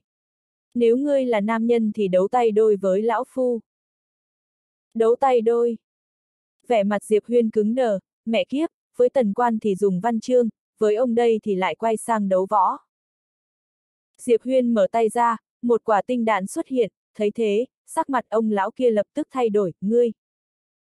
Tất nhiên lão đã biết chuyện Thái Linh tộc bị tinh đạn san bằng. Diệp Huyên lạnh lùng nói, không phải ông muốn đấu tay đôi à. Đừng bảo là ta bắt nạt ông, cho ông đánh trước đấy. Ông lão gắt gao nhìn chằm chằm vào Diệp Huyên, có bản lĩnh thì đừng dùng ngoại vật. Diệp Huyên khẽ thở dài, thế nhân đều nói Diệp Huyên ta mặt dày, nhưng ta cảm thấy so với ông thì ta vẫn là một người đàng hoàng. Ông nghĩ lại đi, nói mấy lời này ra ông có thấy da mặt dày lên không? Ông lão nhìn chằm chằm Diệp Huyên, Diệp Huyên, nghe nói người đang là thiên tài đứng đầu vũ trụ hiện hữu, có thể đấu vượt mấy cấp, mà lão phu chỉ hơn ngươi một cảnh giới thôi mà, thế nào, ngươi sợ à? Diệp Huyên suy nghĩ một chút, sau đó hắn giơ một ngón tay lên, 10 tỷ trụ mạch, cược 10 tỷ trụ mạch đi, được không? Ông lão trầm tư một lát rồi đáp, được. Diệp Huyên mở tay, một chiếc nhẫn chứa đồ chậm rãi bay đến trước mặt tần quan, đưa tiền đặt cược cho tần quan cô nương đi. Ông lão cả giận nói, nàng cùng phe với ngươi mà bảo ta đưa cho nàng. Ngươi nghĩ lão phu bị ngu à? Diệp Huyên nghiêm mặt nói, tần quan cô nương là các chủ tiên bảo các, mà tiên bảo các là thương hội lớn nhất vũ trụ quan huyên chúng ta, danh dự của nàng nước tiếng gần xa, không tin thì ông đi hỏi người ta đi. Ông lão phất tay áo lên, lão phu không đồng ý. Diệp Huyên nhún vai một cái, vậy thì khỏi đánh nữa. Nói xong, hắn quay đầu nhìn tần quan, chúng ta đi thôi. Tần quan gật đầu, ừ. Nói xong, hai người liền định rời đi, nhưng ông lão kia đột nhiên nói, đến ma la tộc đi, lão phu sẽ đưa 10 tỷ cho nàng ngay. Diệp Huyên xoay người nhìn ông lão, ông nghĩ ta ngu à? Ông lão nhìn Diệp Huyên, sao, không dám đi à? Audio điện tử võ tấn bền. Hết chương 10.000